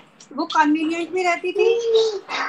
और कैरी करना inconvenient to carry and it is a this is a very susceptible to crushing while transportation पहले टाइम में क्या होता था? ग्लास बॉटल में टैबलेट्स आया करती थी। उसका उसमें क्या था कि इनकन्वीनियंट थी बल्कि थी क्रशिंग हो जा होने का डर रहता था ट्रांसपोर्टेशन में टूटने का डर रहता था। Later packing in a single row ठीक है? फिर धीरे धीरे क्या हुआ कि हमने और मॉडिफिकेशन करी तो हमने उसे स्ट्रिप पैक में ले आए स्ट्रिप पैक में आता है कि tablets are hermetically sealed with strips of aluminium और प्लास्टिक फॉइल उसमें क्या है टैबलेट्स को ना एल्यूमिनियम प्लास्टिक फॉइल में अच्छे से सील रहती है। ओके मोस्टली हमारी मार्केट में आजकल स्ट्रिप पैक और ब्लिस्टर पैक ही चलती है। These tablets can be removed from this pack by tearing or cutting. Method attractive है हाइजीनिकली भी ठीक है suitable for large scale production ठीक है जी? अब आ जाओ ब्लिस्टर पैक पे। The film and blister pack में क्या होता है दिशा कि जो ऊपर का एरिया है वो भी एल्यूमिनियम का होता है जो नीचे का एरिया है वो भी एल्यूमिनियम का रहता है ठीक है? This is also called alu packing हाँ जी। ब्लिस्टर पैकिंग में जस्ट जैसे कहते हैं ना पुराने चोट लगती है हम्म। ठीक है? अपनी चोट पे क्या होता है इम्प्रूव कैसे होती है हमारी चोट? तो उस पर धीरे धीरे ब्लिस्टर आता है। हम्म। ठीक है चोट पे जिसको कहते हैं ना ब्लिस्टर ब्लिस्टर आता है ऐसी ही पैकिंग ये होती है। okay. दोनों एल्यूमिनियम फॉइल के बीच में जब टैबलेट हीटिंग के थ्रू सील होती है that is called blister pack ठीक है film and closing the tablet is form into blister अब आ जाते हैं कैप्सूल्स पे। दोनों आपको पैकिंग समझ आई? क्लियर हुए? हाँ जी मैम बिल्कुल। हाँ कैप्सूल्स पे आ जाओ। कैप्सूल्स भी हमारी सॉलिड डोजेज फॉर्म में रहती है। जिसमें। कि ड्रग सब्सटेंस एनक्लोज रहता है ठीक है शेल हम्म। के अंदर। ये मैंने आपको हाँ थोड़ी देर पहले भी बताया था ये शेल हाँ बनते हैं जेलेटिन के ठीक है? जेलेटिन होता है प्रोटीन जो कि एनिमल के कोलेजन से बनता है एनिमल के इंटेस्टाइन से आता है। ठीक है? Capsules are available in eight sizes एक तो triple zero double zero zero one two three four five five तक इसकी सीरीज़ जाती है। ठीक है जी? ठीक है। और हाँ जी इसके बाद आप आ जाओ। अब अब भी टैबलेट की एडवांटेजेस भी हमें समझ आ गई। और हर एक की एडवांटेज डिसएडवांटेज वही कैप्सूल्स में भी एडवांटेज रहेंगी। एडवांटेज। क्या है कि मास्क करेगा टेस्ट को ऑर्डर अनप्लेजेंट ड्रग को ठीक है? अपीयरेंस देखने में अट्रैक्टिव रहेगी ठीक है? They are slippery when moist easy to swallow हाँ इजी टू स्वेलो आप जब उसको लिक्विड के थ्रू लेंगे तो वो इजीली आपके थ्रोट से स्लिप करके अंदर पहुँच जाएगी मॉइस्चर के थ्रू ठीक है? और क्या होता है कि टैबलेट के कंपैरिजन में देखा जाए तो एडिटिव्स भी कम डलते हैं उसके अंदर. ठीक है? It provides rapid and uniform release of medicament और क्या होता है जब धीरे धीरे हमारी बॉडी में जाके कैप्सूल्स रिलीज़ करते हैं ना ड्रग को तो एक यूनिफॉर्म वे हाँ में करते हैं. यानी कि टैबलेट से भी थोड़ी और मॉडिफाई वे में करते हैं. इन द जीआई ट्रैक्ट ठीक है? और सबसे प्लस पॉइंट क्या है? प्रोटेक्शन लाइट लाइट से प्रोटेक्शन बहुत करेगा। हम्म। ठीक है जी? उसके बाद आ जाता है the capsule shell is physically physiologically inert क्या इजीली मतलब ये लगा लो आप इकोनॉमिकली भी अच्छा रहेगा और लाइट से भी प्रोटेक्ट करेगा। ओवरऑल एडवांटेज बहुत है इसमें लेकिन डिसएडवांटेज भी है। कि हम्म। अगर मानो कि शेल के ऊपर शेल को कैप्सूल शेल को कभी अपने घर में भी कैप्सूल होगा उसको पानी के साथ रखना। ठीक है? मॉइस्चर गेन हो जाता है। मॉइस्चर अब्सॉर्ब कर लेगा घर में एक्सपेरिमेंट करके देख लेना। अपने गीले हाथों पे कैप्सूल निकाल के रखते हैं तो वो एकदम से वो मॉइस्चर आ जाता है हाथ में भी हो जाता है। ये डिसएडवांटेज है। और दूसरा क्या है कि इट इज़ एक्सपेंसिव अगर हमारी टैबलेट आ रही है दस रुपये का इसका पैक आ रहा है तो ये हमारा हम्म। बीस का आएगा तो ये इकोनॉमिकली हमें थोड़ा एक्सपेंसिव पड़ेगा।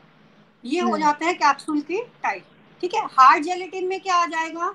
हार्ड जेलेटिन में आपके पास मैं मैं पीडीएफ में ये आपके डॉक्यूमेंट्स शेयर भी कर दूँगी आपको जो मैं आपको क्लियर करा रही हूँ ठीक है? ठीक है और इसमें क्या है कि आपके हार्ड जेलेटिन में पेंटाप्रोजोल के कैप्सूल्स देखे हैं घर में होंगे हाँ जी ठीक है? देखना कभी ध्यान करना। आ, वो आपके हार्ड जेलेटिन के अंदर आते हैं ठीक है? जिसमें कि एक बॉडी होती है एक कैप होती है जिसके अंदर फार्मास्यूटिकल ये जो अपने सॉल्ट है ना ये प्रेजेंट होता है। मैम कुछ कैप्सूल मैंने ऐसे कुछ कैप्सूल मैंने ऐसे देखे वो हार्ड ही होते हैं लेकिन वो सिंगल शेल होती है वो। हाँ हाँ। वो जो है ना कैप्सूल ये हार्ड जेलेटिन में ही आएँगे गुड़िया। ओके ठीक है? सॉफ्ट जेलेटिन में आपके आएँगे जो आपने ओमेगा के बता रहे थे ना राउंड है ओवल है विटामिन ई भी है। विटामिन ई जो हाँ। आती है हाँ ओमेगा के हो गए कॉस्मेटिक के आपने फेशियल के देखे होंगे। Being a girl you can understand this ठीक है? फेशियल हाँ. के आपने देखे होंगे? या पहले पुराने टाइम में आई के आते थे? हाँ जी वो आते हो जाता था तो हम्म। वो भी आपके सॉफ्ट जेलेटिन में आते हैं। ठीक है? क्लियर हुआ? ये आपका सॉफ्ट हाँ जेलेटिन हाँ होगा। अब मैंने अब आ जाओ लिक्विड डोजेज फॉर्म में। ठीक है जी? थोड़ा हाँ लिक्विड डोजेज फॉर्म में क्या है कि मोनोफेसिक और बायोफेसिक जो हमारा डोज मोनोफेसिक लिक्विड जो होता है डोज फॉर्म में जिसमें कि एक फेस कंटेंट होता है जो सॉल्यूशन में that is called your liquid dosage form एक सॉल्यूशन में जब आपकी सॉल्ट प्रेजेंट है यानी कैप्सूल में भी हमें थोड़ी सी प्रॉब्लम लगी तो हमने और मॉडिफाई कर दिया। ठीक हम्म। है? फिर हम सिरप लिक्विड डोजेज पे आ गए। इसमें क्या होगा कि हमारे लिक्विड के अंदर कंटेंट प्रेजेंट है सिरप के अंदर। ठीक है? एडवांटेजेस अब लिक्विड डोजेज फॉर्म के भी अपनी कुछ एडवांटेजेस है ठीक है? जैसे कि बच्चे ले सकते हैं इन्फेंट्स चिल्ड्रंस हम्म। ले सकते हैं ठीक है? पेशेंट्स ले सकते हैं। और अनप्लेजेंट टेस्ट इसका मास्क हो जाता है क्योंकि अगर आप स्वीटनिंग एजेंट डाल के। स्वीटनिंग एजेंट भी डालते हैं फ्लेवरिंग भी डालते हैं मैंने ऑर्गेनोलेप्टिक प्रॉपर्टीज़ सारी इंप्रूव कर देते हैं उसके अंदर। उसमें Okay. क्या है आप कभी देखो छोटे बच्चों के सिरप्स होते हैं मैंगो फ्लेवर ऑरेंज फ्लेवर कहाँ से आते हैं वो? उसमें बेटे मास्क तो करते हैं हम लोग। और क्या करते हैं? It is attractive in appearance orange colour का होगा बच्चा पिएगा मुझे तो मैंगो का अच्छा लग रहा है। है ना? हम्म, तो drug is rapidly available for absorption यानी कि पेशेंट के डिमांड के अकॉर्डिंग इनटेक ज़्यादा होगा। ठीक है? ओके अब डिस अब भाई फ़ायदे हैं तो डिसएडवांटेजेस भी हैं। Liquid. Dosage form have less stability क्या होता है कई बार कि हम लोग जब स्टोर करते हैं ना हाँ तो अब फार्मास्यूटिकल प्लांट है या कोई शॉप है मेडिकल स्टोर उस पे तो भाई कोल्ड एनवायरनमेंट वो रखेंगे फ्रिज में रखेंगे जो उन्हें रखनी होगी ठीक है अब आप हम्म। घर है घर में आप 24 घंटे फ्रिज में तो नहीं रखते शेल्फ हाँ लाइफ पे शेल्फ पे रखते हो ना तो हम्म। कई बार क्या होता है कि किसी प्रोडक्ट का जैसे कि कलर चला गया ऑरेंज है वो वाइट ही रह गया ठीक है हम्म। कई बार ऐसा होता है कि सस्पेंशन है केक फॉर्म में नीचे सस्पेंडेड है। केक ऑक्सीडाइज हो जाती है। एग्जैक्टली ऑक्सीडाइज हो जाता है। क्योंकि केमिकल्स की लाइफ केमिकल्स तो डे बाय डे हो रहे हैं ना। एयर की वजह से। दैट्स व्हाई तो ये उसके कुछ डिसएडवांटेजेस है। अब क्लासिफिकेशन लिक्विड डोजेज फॉर्म पे आ जाते हैं ठीक है? मोनोफेसिक लिक्विड डोजेज फॉर्म में और बाइफेसिक मोनोफेसिक में आपके आ जाएँगे ऑरल यूज़ ठीक है? एक्सटर्नल यूज़ स्पेशल यूज़ और पेरेंटल यूज़ ऑरल में आपके आ जाएँगे सिरप्स ड्रॉप्स ठीक है? हम्म, ये आपके उसमें ऑरल यूज़ में आ जाएँगे. एक्सटर्नल में आपके आ जाएँगे मैंने बताया था लोशन लिनिमेंट्स कॉलिडॉइंस ठीक है? ओके मैम हाँ अब आपका बाकी ये स्पेशल यूज़ में आ जाएगा gargle mouth wash short paint douches हो गए आई ड्रॉप्स ये मैं आपको करवा चुकी हूँ हाँ जी. इसलिए हम इस पे ज़्यादा टाइम स्पेंड नहीं करेंगे। और फोर्थ फॉर्म इसकी होगी पेरेंटल यूज़ क्योंकि मैं इसके आपको डिफाइन कर चुकी हूँ। हमने हाँ प्रीवियस अभी किया है यूनिट फ़र्स्ट में। हम्म, हम्म, ठीक है? हाँ अब हम चलते हैं ऑरल यूज़ प्रिपरेशन में। अब भाई ऑरल प्रिपरेशन को कैसे कैसे बनेगी? सबसे पहले मिक्सचर यूज़ करेंगे हम। ठीक है? भाई सॉल्ट उठाएँगे वाइकल लेंगे उसे मिक्स करेंगे। ठीक है? That is called simple mixture simple हाँ मिक्सचर में क्या होगा? Soluble substance content soluble ingredient contain होंगे। ठीक है? और मिक्सचर होंगे डिफ्यूजिबल सॉलिड्स ओके कुछ सॉलिड्स ऐसे होंगे जो इजीली डिफ्यूज हो जाएँगे। ठीक है? हम्म, कुछ सॉलिड्स ऐसे होंगे जो इनडिफ्यूजिबल सॉलिड होंगे। ठीक है? कुछ ऐसे होंगे जो प्रेसिपिटेट्स बनाते हैं फॉर्मिंग लिक्विड्स ठीक है? कुछ ऐसे होते हैं जो भाई जो मिक्सचर अपने स्लाइटली सॉल्युबल होते हैं। ठीक ओके है ये टाइप्स हो जाती है जब हम किसी सिरप को बना रहे हैं तो कितने टाइप्स के बना रहे हैं? ठीक है? कि सॉल्युबल लिक्विड्स में क्या होगा कि distribute uniform not distribute uniformly किस एक में होगा कि डिस्ट्रीब्यूट यूनिफॉर्मली हो ठीक है? तो हम पेशेंट के डिमांड पे अलग अलग टाइप से सिंपल और मिक्सचर्स या मिक्सचर्स कंटेनिंग डिफ्यूजिबल सॉलिड के अकॉर्डिंग बनाते हैं। ठीक है? ओके मैम अब आ जाते हैं एलिक्सर्स पे। एलिक्सर्स आपके हैं क्लियर फ्लेवर्ड स्वीटेंड एलिक्सर्स आपके होते हैं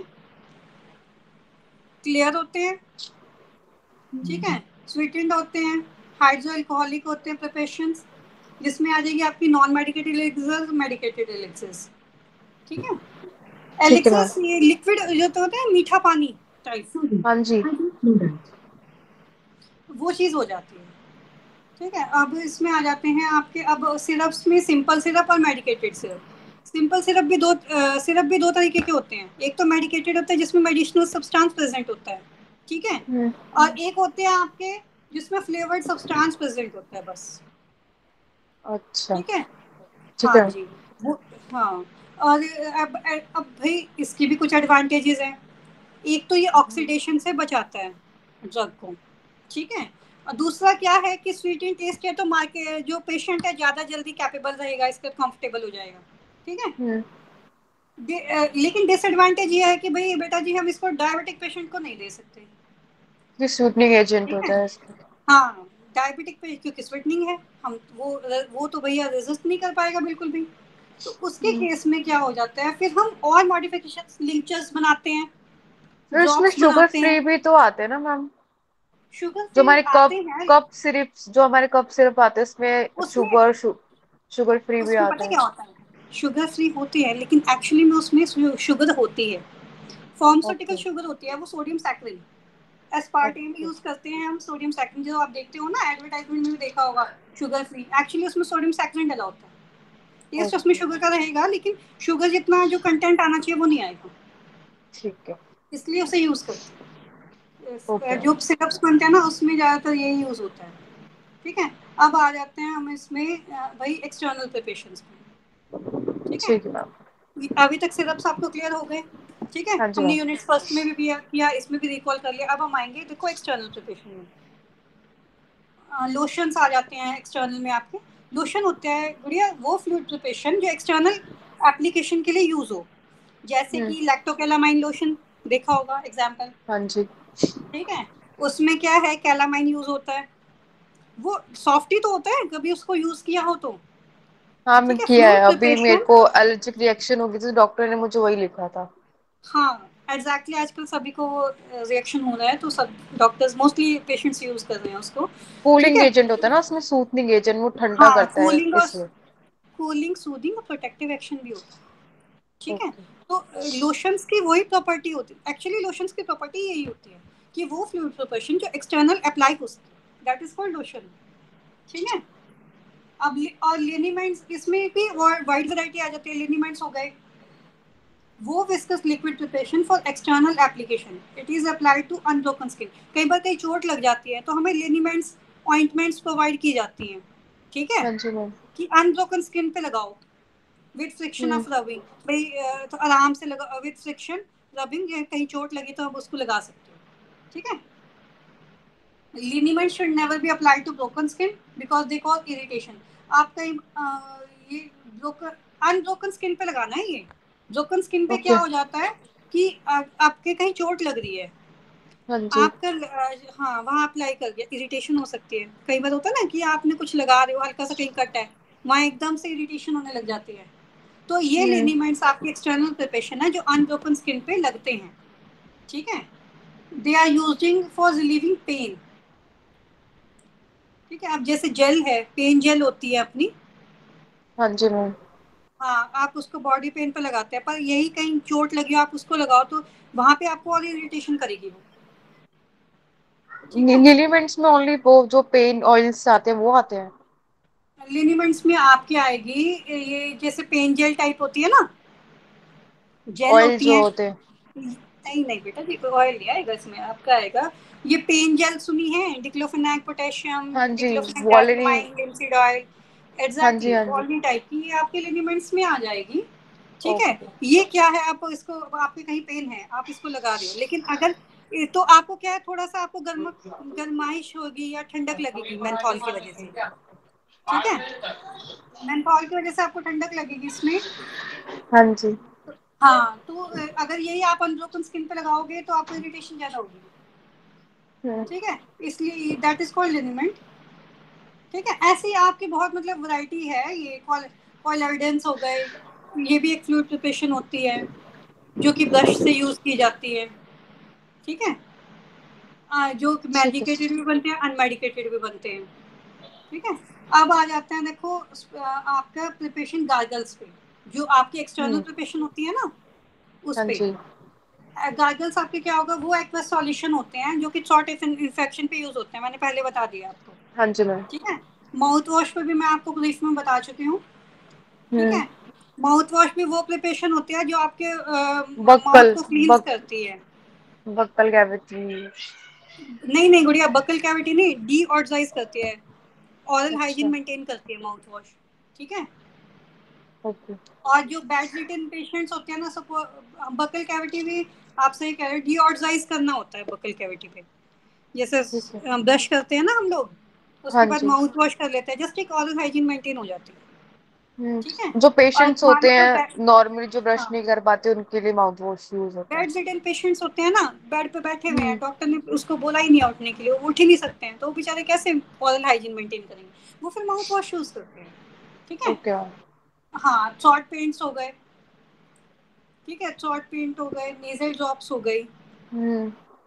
ठीक है ये आई ड्रॉप्स हो गए ये सारे मैं आपको करवा चुकी हूँ हाँ जी मैम ठीक है ये आपको क्लियर भी हो गए होंगे। अब पढ़ेंगे हम देखो बायोफेसिक लिक्विड डोसेज फॉर्म के बारे ओके मैम ठीक है जिसमें आपके आ जाते हैं सस्पेंशन और इमल्शंस ठीक है सस्पेंशन आते हैं आपके बायो मैंने कहा ना दो तरीके के होते हैं मोनोफेसिक और एक बायोफेसिक जिसमें सिर्फ़ एक मिक्सचर यूज़ हुआ था मोनोफेसिक था। हाँ। इसमें एक इसमें दो यूज़ होंगे। सस्पेंशन हाँ तभी तभी इसमें shake shake well before use लिखा होता है ताकि वो दो एक तो पार्टिसिपेट फॉर्म में होते हैं और एक लिक्विड फॉर्म में होते हैं जो मिक्स हाँ नहीं हो पाते जो टू और मोर इंग्रेडिएंट्स होते हैं ना और uh,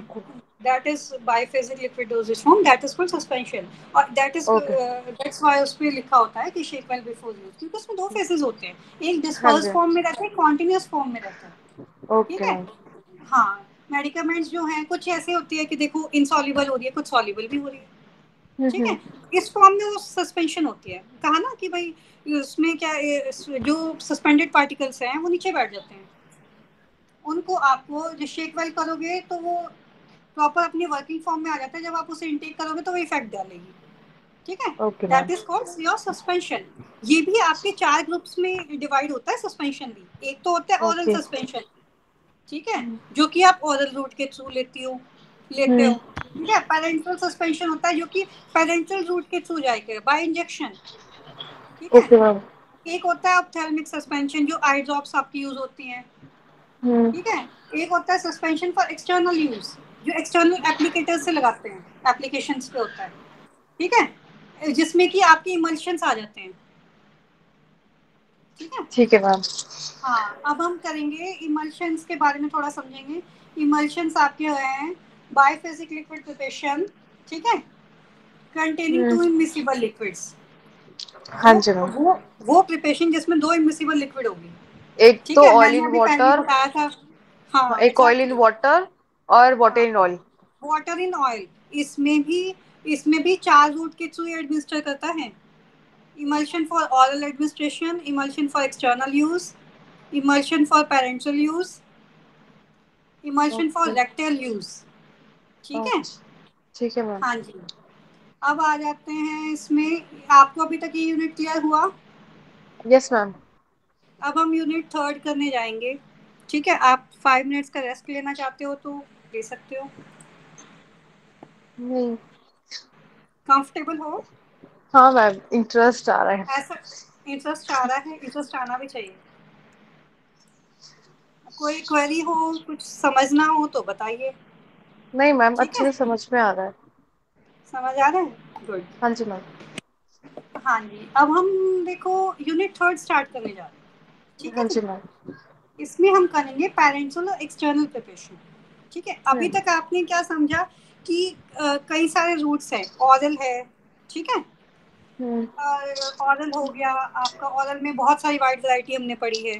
ठीक है? फिर जो ऑरल रूट में सिरप्स थे उनमें भी हमने वाइड वैरायटी पढ़ी है। अब हाँ हम पढ़ेंगे एक्सटर्नल प्रिपरेशन के बारे में। वो प्रिपरेशन जो एक्सटर्नली अप्लाई होती हैं। ठीक है? ठीक है मैम। हाँ हाँ जी। मैम मेरी आदत है मैं बीच में क्वेश्चन पूछ सकती हूँ तो be prepared okay ma'am. Okay in the हम लोग पहली यूनिट्स में पढ़ चुके हैं ठीक है? अब हम हाँ पढ़ेंगे इसके मेन हम ये जो आपका है इसमें आप एक्सटर्नल प्रिपरेशन मेन होता है हाँ, एक मिनट हाँ एक मिनट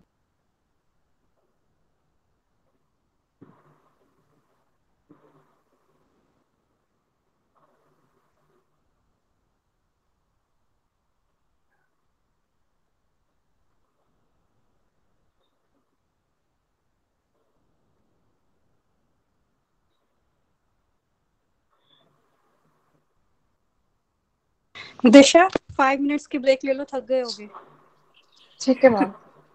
फाइव मिनट्स बाद में आपको ज्वाइन करती हूँ ठीक है? अभी तक आप इसको रिकॉल करो मैं फाइव मिनट्स में आपको ज्वाइन कर रही हूँ ठीक है? ठीक है ma'am. Okay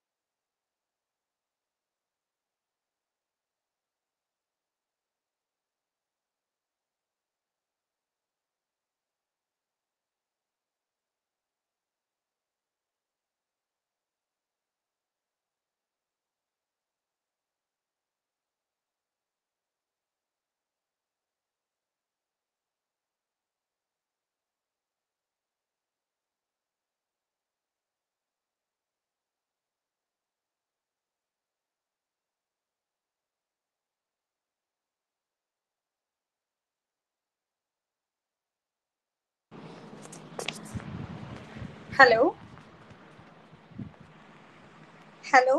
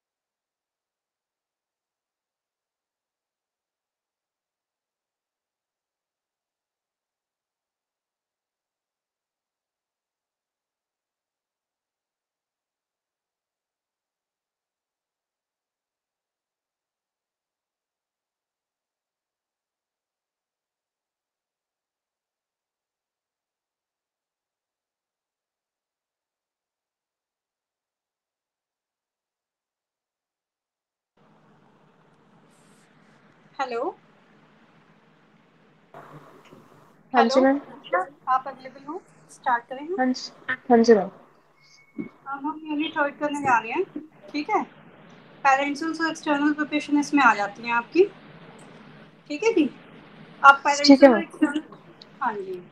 अब थोड़ा रिलैक्स फील हो गया होगा आपको रेस्ट करके। हम स्टार्ट करते हैं। ठीक है?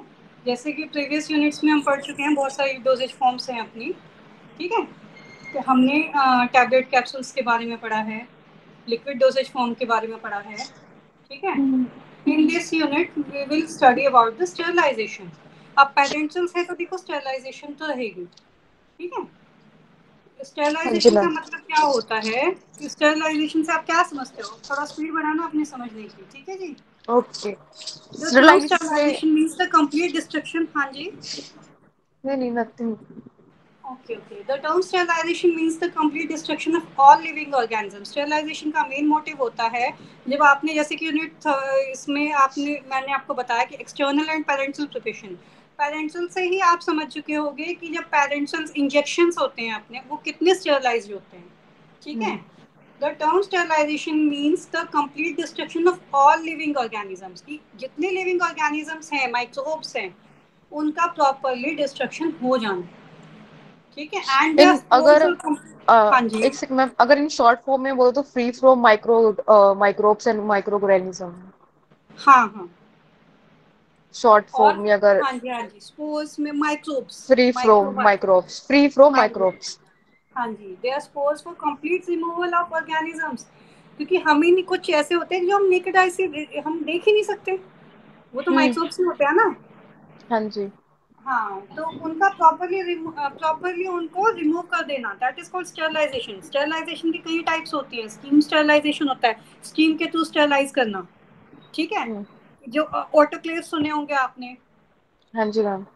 हाँ कभी फार्मास्यूटिकल प्लांट में गए हो वो प्रेशर कुकर की तरह ही होते I think like this exactly हाँ उसमें एक प्रॉपर प्रेशर होता है जिसके थ्रू स्टीम्स आती हैं।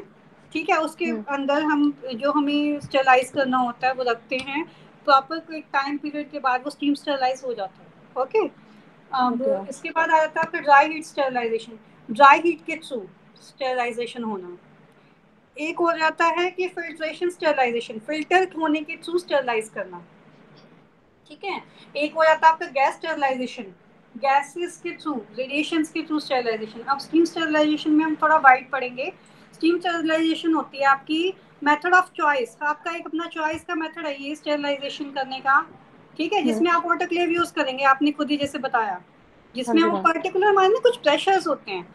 जैसे वाटर हमारा हंड्रेड डिग्री सेल्सियस पे बॉयल होता है एटमोस्फेरिक हाँ ठीक है? Steam above hundred degree atmospheric condition के आप आप नॉर्मली आप बॉईल करने रख दो वाटर एक हाँ हंड्रेड डिग्री सेल्सियस पे ही आपके जितने भी वो हैं माइक्रोब्स है वो तब किल होते हैं ठीक है? हाँ मैम तो जब हम स्टीम देते हैं is at higher temperature is required the pressure must be increase जब हाई टेम्परेचर होगा तो प्रेशर बढ़ेगा हाँ इंक्रीज होगा तो माइक्रोब्स ऑटोमेटिकली वाटर बॉईल करेगा वाटर बॉईल करेगा टेम्परेचर राइज होने से तो स्टीम बनेगी।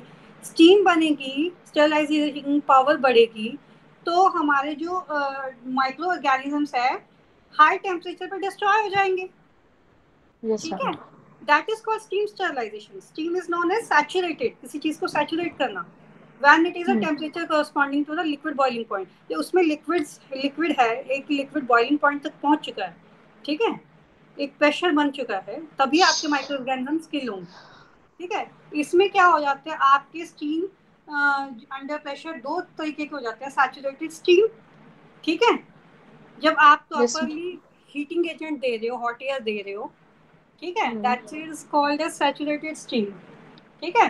और एक हो जाता है सैचुरेटेड स्टीम में जब कंडेंसिंग होने लग जाती है it contracts to small volume so more steam flows quickly ठीक है? ओके मैम हाँ हाँ। तो इसमें क्या है? अलग अलग टेम्परेचर हो जाते हैं जैसे 115 डिग्री का हो गया 121 हो गया 115 डिग्री 10 पाउंड प्रेशर है 30 मिनट्स तक ठीक है? 121 डिग्री सेल्सियस का है 15 पाउंड्स तक। एक पर्टिकुलर प्रेशर जैसे टेम्परेचर होगा उस पर कितने टाइम तक रखा जाता है? एक ऑटोक्लेव में सेट कर सकते हैं हम लोग। ठीक है? ये मोस्टली पेरेंटल्स में यूज़ होता है। पेरेंटल्स में क्या होता है? माइक्रोब्स का सेक्शन एक अलग से होता है।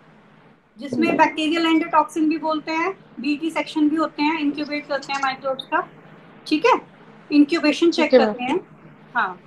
तो ये आपका आ जाएगा सारा स्टीम स्टरलाइजेशन में ठीक है? ओके इसमें क्या होगा? स्टीम स्टरलाइजेशन में आपका रिक्वायर्ड टेम्परेचर चाहिए होगा स्टीम पेनिट्रेशन चाहिए होगा आपको एडवर्सली इफेक्टेड मॉइस्चर चाहिए होगा ठीक है?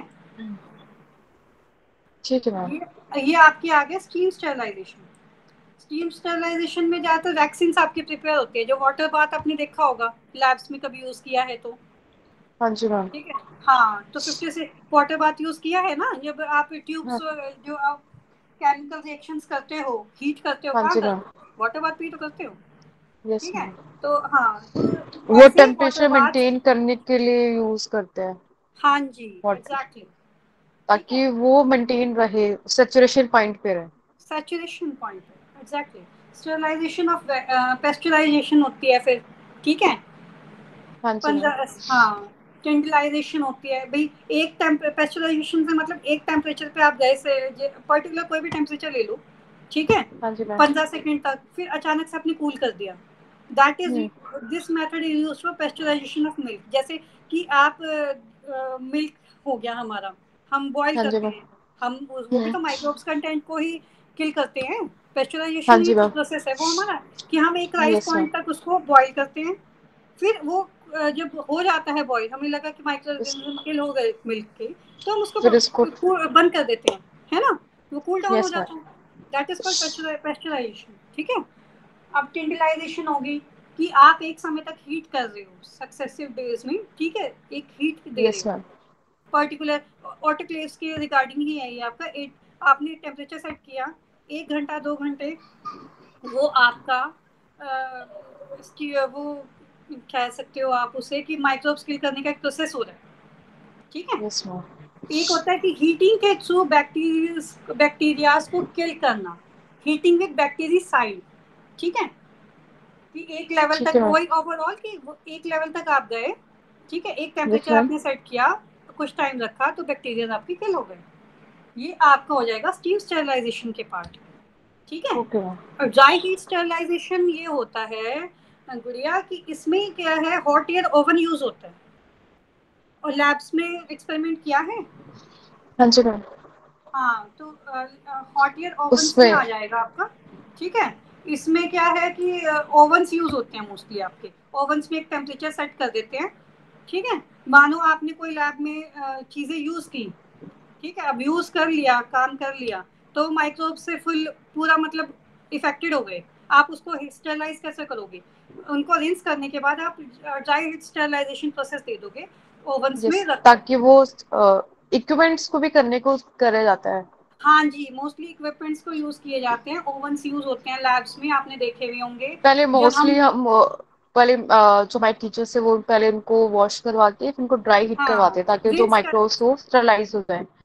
रिंस करवाते हैं उसके बाद उनमें रखते हैं that is that process is called dry heat dry heat sterilization अब आप उससे क्लियर हो गए होगे? ठीक है? अब हम पढ़ेंगे देखो फिल्ट्रेशन स्टेरिलाइजेशन पे। ठीक है? फिल्ट्रेशन स्टेरिलाइजेशन में क्या होता है? लेमिनर एयर फ्लो देखिए आपने? लेमिनर यस मैम वो हाँ इंक अपोजिट रहती है उसके ग्रेविटी के हाँ अपोजिट हाँ फिल्ट्रेशन उस स्टेरिलाइजेशन इसमें क्या होता है कि एयर फ्लो फ़िल्टर होके आता है जिसमें इंक्यूबेशन प्रोसेस करते हैं। हम्म ठीक है? फ़िज़िकल माइक्रो ऑर्गेनिजम्स रिमूव करने का ये भी एक तरीका है जिसमें कि एयर भी पास करके आती है फ़िल्टर मीडियम से। ठीक हम्म है जी? देखे होंगे आपने उससे आपको क्लियर हो जाएगा कि ये आपके फ़िल्टर स्टेरिलाइजेशन होते हैं। ठीक है? बाकी मैम डॉक्टर ये मैं आपको मैं आप जो आपको करा रही हूँ मैं आपको पीडीएफ इसके सेंड कर दूँ। ठीक है? ये आपको फ़िल्टर स्टेरिलाइजेशन की भी अपनी को देखो एडवांटेज डिसएडवांटेज होती है। ठीक है? हम्म। कंप्लीट रिमूवल जब आप अ, अ, इस प्रोसेस को करने जाओगे ठीक है तो मैम आपको प्रॉपरली रिमूव करनी है लिविंग माइक्रो ऑर्गेनिजम्स को किल करने का प्रॉपर प्रोसेस करना है। ठीक है? जब आप माइक्रो लैब में एंटर भी करते हैं ना तो आप इस नॉर्मली हम इन जो इस क्लॉथिंग में तो एंटर ही नहीं कर सकते। बहुत ही वाइड मतलब आपको ये भी नहीं पता होगा कि कौन सा माइक्रोब आपके साथ लग के बाहर आ जाए। तो proper removal of living as well as killed micro organisms from the product आपको प्रोडक्ट से रिमूव कर जब आपको प्रोडक्ट से रिमूव करने में इतनी सिक्योरिटी रखनी है तो आपको अपने आप जब प्रोसीजर करोगे तो कितनी सिक्योरिटी रखनी होगी? हम्म। ठीक है? दूसरा क्या है? थर्मोलेबाइल लिक्विड इसमें स्टेरलाइज हो सकते हैं। ठीक है? फिल्ट्रेशन ये आपका स्टेरलाइजेशन में लेस टाइम लगता है। और स्टेरलाइजेशन करना इनएक्सपेंसिव है। ऑटोक्लेव हम्म। लाना है उसमें ही तो प्रोसेसिंग करनी है उससे ऊपर कुछ नहीं करना। ठीक है जी? डिसएडवांटेज ऑफ़ फिल्ट्रेशन स्टेरलाइजेशन में क्या है? Aseptic processing is required aseptic का मतलब कहीं से भी कोई ए, कुछ भी माइक्रो ऑर्गेनिज्म अगर लग गया तो क्या होगा? ये डिसएडवांटेज ठीक है? एसेप्टिक और सेप्टिक के बारे में पढ़ा होगा आपने? हाँ जी हाँ तो एसेप्टिक होता है। देख मैंने देखो मैंने कहा है ना कि आपको जब प्रोडक्ट के लिए इतनी ज़्यादा आपको केयर केयरफुल उससे खुद से पहले अ, किसी भी सरलाइज एरिया में जाने से पहले सबको कवर हैंड वॉश और सब कुछ शूज़ शूज़ बाहर कवर होगा। जब हम आईसीयू में भी जाते हैं इंक्यूबेटेड एरिया में उसमें भी ये चीज़ें होती हैं। उसमें भी इंक्यूबेट एक्चुअली क्या होता है कि माइक्रोब्स आपको आप निकट आई से उन्हें नहीं देख सकते। ठीक है? हम्म। वो आपको विजिबल तो होंगे नहीं। अब भाई जब विजिबल नहीं है तो वो तो आपको कहीं से भी इफ़ेक्ट कर सकते हैं ना। आपको आज नहीं पता लेकिन हो सकता है ना? तो मैम यहाँ पे कुछ उसके डिसएडवांटेजेस हैं। एडवांटेज भी है कि माइक्रोब स्वीट कर देता है लेकिन डिसएडवांटेज भी है। ठीक है अब हम पढ़ेंगे गैस स्टेरिलाइजेशन के बारे में। ठीक है तो वो स्टेरिलाइजेशन जिसमें बाय थ्रू गैस स्टेरिलाइज किया जाए। ठीक है हीट सेंसिटिव होते हैं मॉइस्चर सेंसिटिव मटेरियल होते हैं। ठीक है हम्म। उनको गैस स्टेरलाइजेशन के थ्रू यूज़ करते हैं प्रोसेस उनको फ़िल्टर और स्टीम में नहीं कर सकते वो मॉइस्चरिंग गेन कर लेंगे वो। बिल्कुल एग्जैक्टली हीट सेंसिटिव है। आप उसको गर्म करोगे वो खराब हो जाएगा। मॉइस्चर सेंसिटिव है। आप उसको इंक्यूबेट करोगे कहीं से मॉइस्चर टच हो गया वो तब भी खराब हो जाएँगे। तो उन सेंसिटिव मटेरियल के लिए क्या हो जाता है आपको प्रॉपरली स्टरलाइज कर गैस स्टरलाइजेशन प्रोसेस लेना पड़ता है ठीक है? जिसमें कि आपके वेरियस गैसेस आ जाती हैं। अब आप सोचोगे कि गैस में कौन सी गैस हमारी घर। वाली नहीं। इथाइलिन ऑक्साइड यूज़ होगा प्रोपाइलिन ऑक्साइड यूज़ होगा फोमेल्डिहाइड होगा ओजोन होगा। ठीक है? इस तरीके की गैसेस यूज़ होंगी आपकी जिसमें कि इथाइलिन ऑक्साइड मोस्टली यूज़ होता है आपका। थ्री परसेंट की कंसेंट्रेशन में। ठीक है? हाईली इन्फ्लेमेबल और सेफ़ है। ओके हाँ? जी। क्लियर हुआ आपको? हाँ जी मैम हुआ। हाँ गैस स्टेरिलाइजेशन में आप क्या करेंगे? थायरिन ऑक्साइड जब आप यूज़ करेंगे स्टेरिलाइजर में तो आप टेम्परेचर को भी ध्यान में रखेंगे रिलेटिव ह्यूमिडिटी को भी ध्यान में रखेंगे। ठीक है जी? एफिकेसी ऑफ़ स्टेरिलाइजेशन आपकी बढ़ेगी ठीक है? जैसे एक्सपोजर टाइम का एक्सपोजर होगा आपकी स्टेरिलाइजेशन भी बढ़ेगी। ओके हाँ जी। इसमें क्या हो जाता है? इसके भी डिसएडवांटेज कुछ हैं ठीक है? जैसे कि इथाइलिन ऑक्साइड ये स्टेरिलाइजेशन प्रोसेस जो गैस का है ना ये आपका स्लो प्रोसेस है। ओके मैंने कहा ना कि टाइम का बहुत इफ़ेक्ट करेगा। हम्म। अभी मैंने आपको प्रीवियस अभी आपको समझाया कि टाइम का इफ़ेक्ट करेगा। तो क्या है टाइम टेकिंग प्रोसेस है। यहाँ पे ये डिसएडवांटेज है इसकी। और दूसरी बात क्या हो जाती है कि कई बार ऐसा है कि थर्मोलाबाइल प्रोडक्ट्स हो जाते हैं। इसमें मोस्टली ये प्रोडक्ट्स यूज़ होते हैं। थर्मोलाबाइल होगी मॉइस्चर सेंसिटिव होगी। पर इसके डिसएडवांटेज ये है कि आप इसमें इसमें टाइम टेकिंग प्रोसेस है। स्लो प्रोसेस है ओवरऑल लगाओ कि स्लो प्रोसेस है। ठीक है जी? अब हम पढ़ेंगे okay. इसमें हाँ रेडिएशन स्टेलाइजेशन के बारे में। रेडिएशन स्टेलाइजेशन में आपका आ जाता है बाय यूवी के थ्रू जो आपकी होती है ना gamma rays alpha beta rays इनके थ्रू स्टेलाइज होता है। आपने यूवी यूवी स्पेक्ट्रोफोटोमीटर के बारे में सुना होगा। यस मैम ठीक है ना? वो भी मोस्टली कई बार ऐसा होता है कि हम लोग मानो सिरप की टेस्ट लगा रहे हैं। ठीक है? कलर टेस्ट लगाया हमने। तो हम यूवी के थ्रू से करते हैं। चेक तो वो भी एक तरह से रेडिएशन स्टेलाइजेशन में आ जाता है। ठीक है? गामा रेज हो गई अल्फ़ा बीटा रेज हो गई। यूवी में क्या हो जाता है कि आपकी ये जो बीटा लेंथ होती है ना वेव लेंथ होती है पर्टिकुलर वेव लेंथ पे ये चेकिंग होती है। ठीक है? हाँ तो इसमें क्या होगा कि और इसमें केमिकल्स आपके और लॉजिक क्या है क्यों करते हैं रेडिएशन स्टेलाइजेशन कि हम सिर्फ़ ये चेक करते हैं कि जो भी हमारे फार्मास्यूटिकल प्रोडक्ट है ना कि इसमें हाँ कोई केमिकल हमारा ऑल्टर तो नहीं कर रहा खराब तो नहीं हो रहा? माइक्रो ऑर्गेनिज्म इफ़ेक्ट तो नहीं कर रहा? ठीक है कोई माइक्रो ऑर्गेनिज्म ने हमारी केमिकल को ही डिग्रेड कर दिया हो हम ये सब चेक करते हैं। ठीक है ये इसका मेन मोटिव होता है। अब आ जाते हैं देखो स्टेराइल डोजेज फॉर्म में। स्टेराइल डोजेज फॉर्म वो स्टेराइल डोजेज फॉर्म हो जाती है आपकी जो स्टेराइल हो। Free from any living micro organisms ophthalmics injections हाँ जी जैसे पेरेंट्रल्स हो जाते हैं इंजेक्शन आपके डायलिसिस सॉल्यूशन हो जाते हैं बायोलॉजिकल प्रिपरेशन हो जाती हैं जैसे vaccine toxoid antitoxin ophthalmic preparation अब आइज़ का है वो भी उसमें हम लापरवाही नहीं कर सकते ठीक है? पेरेंट्रल्स हम्म। में आपका पेरेंट्रल्स जो आपका वर्ड है ना पर्टिकुलर ये आपका यूज़ हुआ पैरा एंड ट्रॉन ठीक है? ये ग्रीक वर्ड है आपका। पैरा का मतलब होता है आउटसाइड द इंटेस्टाइन ठीक है? आउटसाइड द इंटेस्टाइन आपका वो रूट ऑफ़ एडमिनिस्ट्रेशन इंक्लूड करना जिसमें ऑरल रूट ना हो। ओके एक ऐसा रूट एक्सेप्ट ऑरल ठीक है? आजकल नाउ डेज़ आजकल क्या होता है कि पेरेंटल से आपका इंजेक्शन यूज़ होते हैं। ठीक है? हम्म। एक तो इंजेक्शन आपके स्टेराइल आते हैं पायरोजन फ्री आते हैं। ठीक है? Pyrogen free metabolic product microorganisms they increase the body temperature कई बार क्या हो जाता है कि पायरोजन फ्री हो जाते हैं। पायरोजन जिसमें होगा क्या होगा करेगा वो? एकदम से बॉडी टेम्परेचर राइज कर देगा। फीवर हो जाएगा आपको। होता है ना हम्म। अभी आपको क्या लगे थे? कोविड के इंजेक्शन लगे थे। हम्म। जिसमें क्या था आपको लगे उसमें इफ़ेक्ट क्या था आपको बताया गया था कि आपको फीवर हो फीवर हो जाएगा हाँ. क्यों होगा फीवर वो? वो फीवर इसलिए they are not pyrogen free हाँ they are not pyrogen free metabo तो वो क्या करते हैं? इफ़ेक्ट ही ऐसे करते हैं। अब लेमैन तो ये समझता है अरे वाह जितना बुखार हुआ उतना अच्छा है। उसको तो ऐसे ही समझाएँगे ना हम। ठीक है? इसमें आपके ना इन पेरेंट्स में भी बहुत रूट्स होते हैं। पेरेंट्स में आपके रूट ऐसे हो जाते हैं जैसे कि इंट्राक्यूटेनियस हो गया इंट्रामस्कुलर हो गया इंजेक्शंस में भी टाइप होती है ना? आईएम आईवी हाँ अभी तक मोस्टली आईएम आईवी और कौन से टाइप्स होती हैं? और इंट्राकुटेनियस कैसे कैसे यूज़ होते हैं कैसे लगते हैं? वो स्किन के अंदर तक जाती है स्किन हाँ. के नीचे लगता है।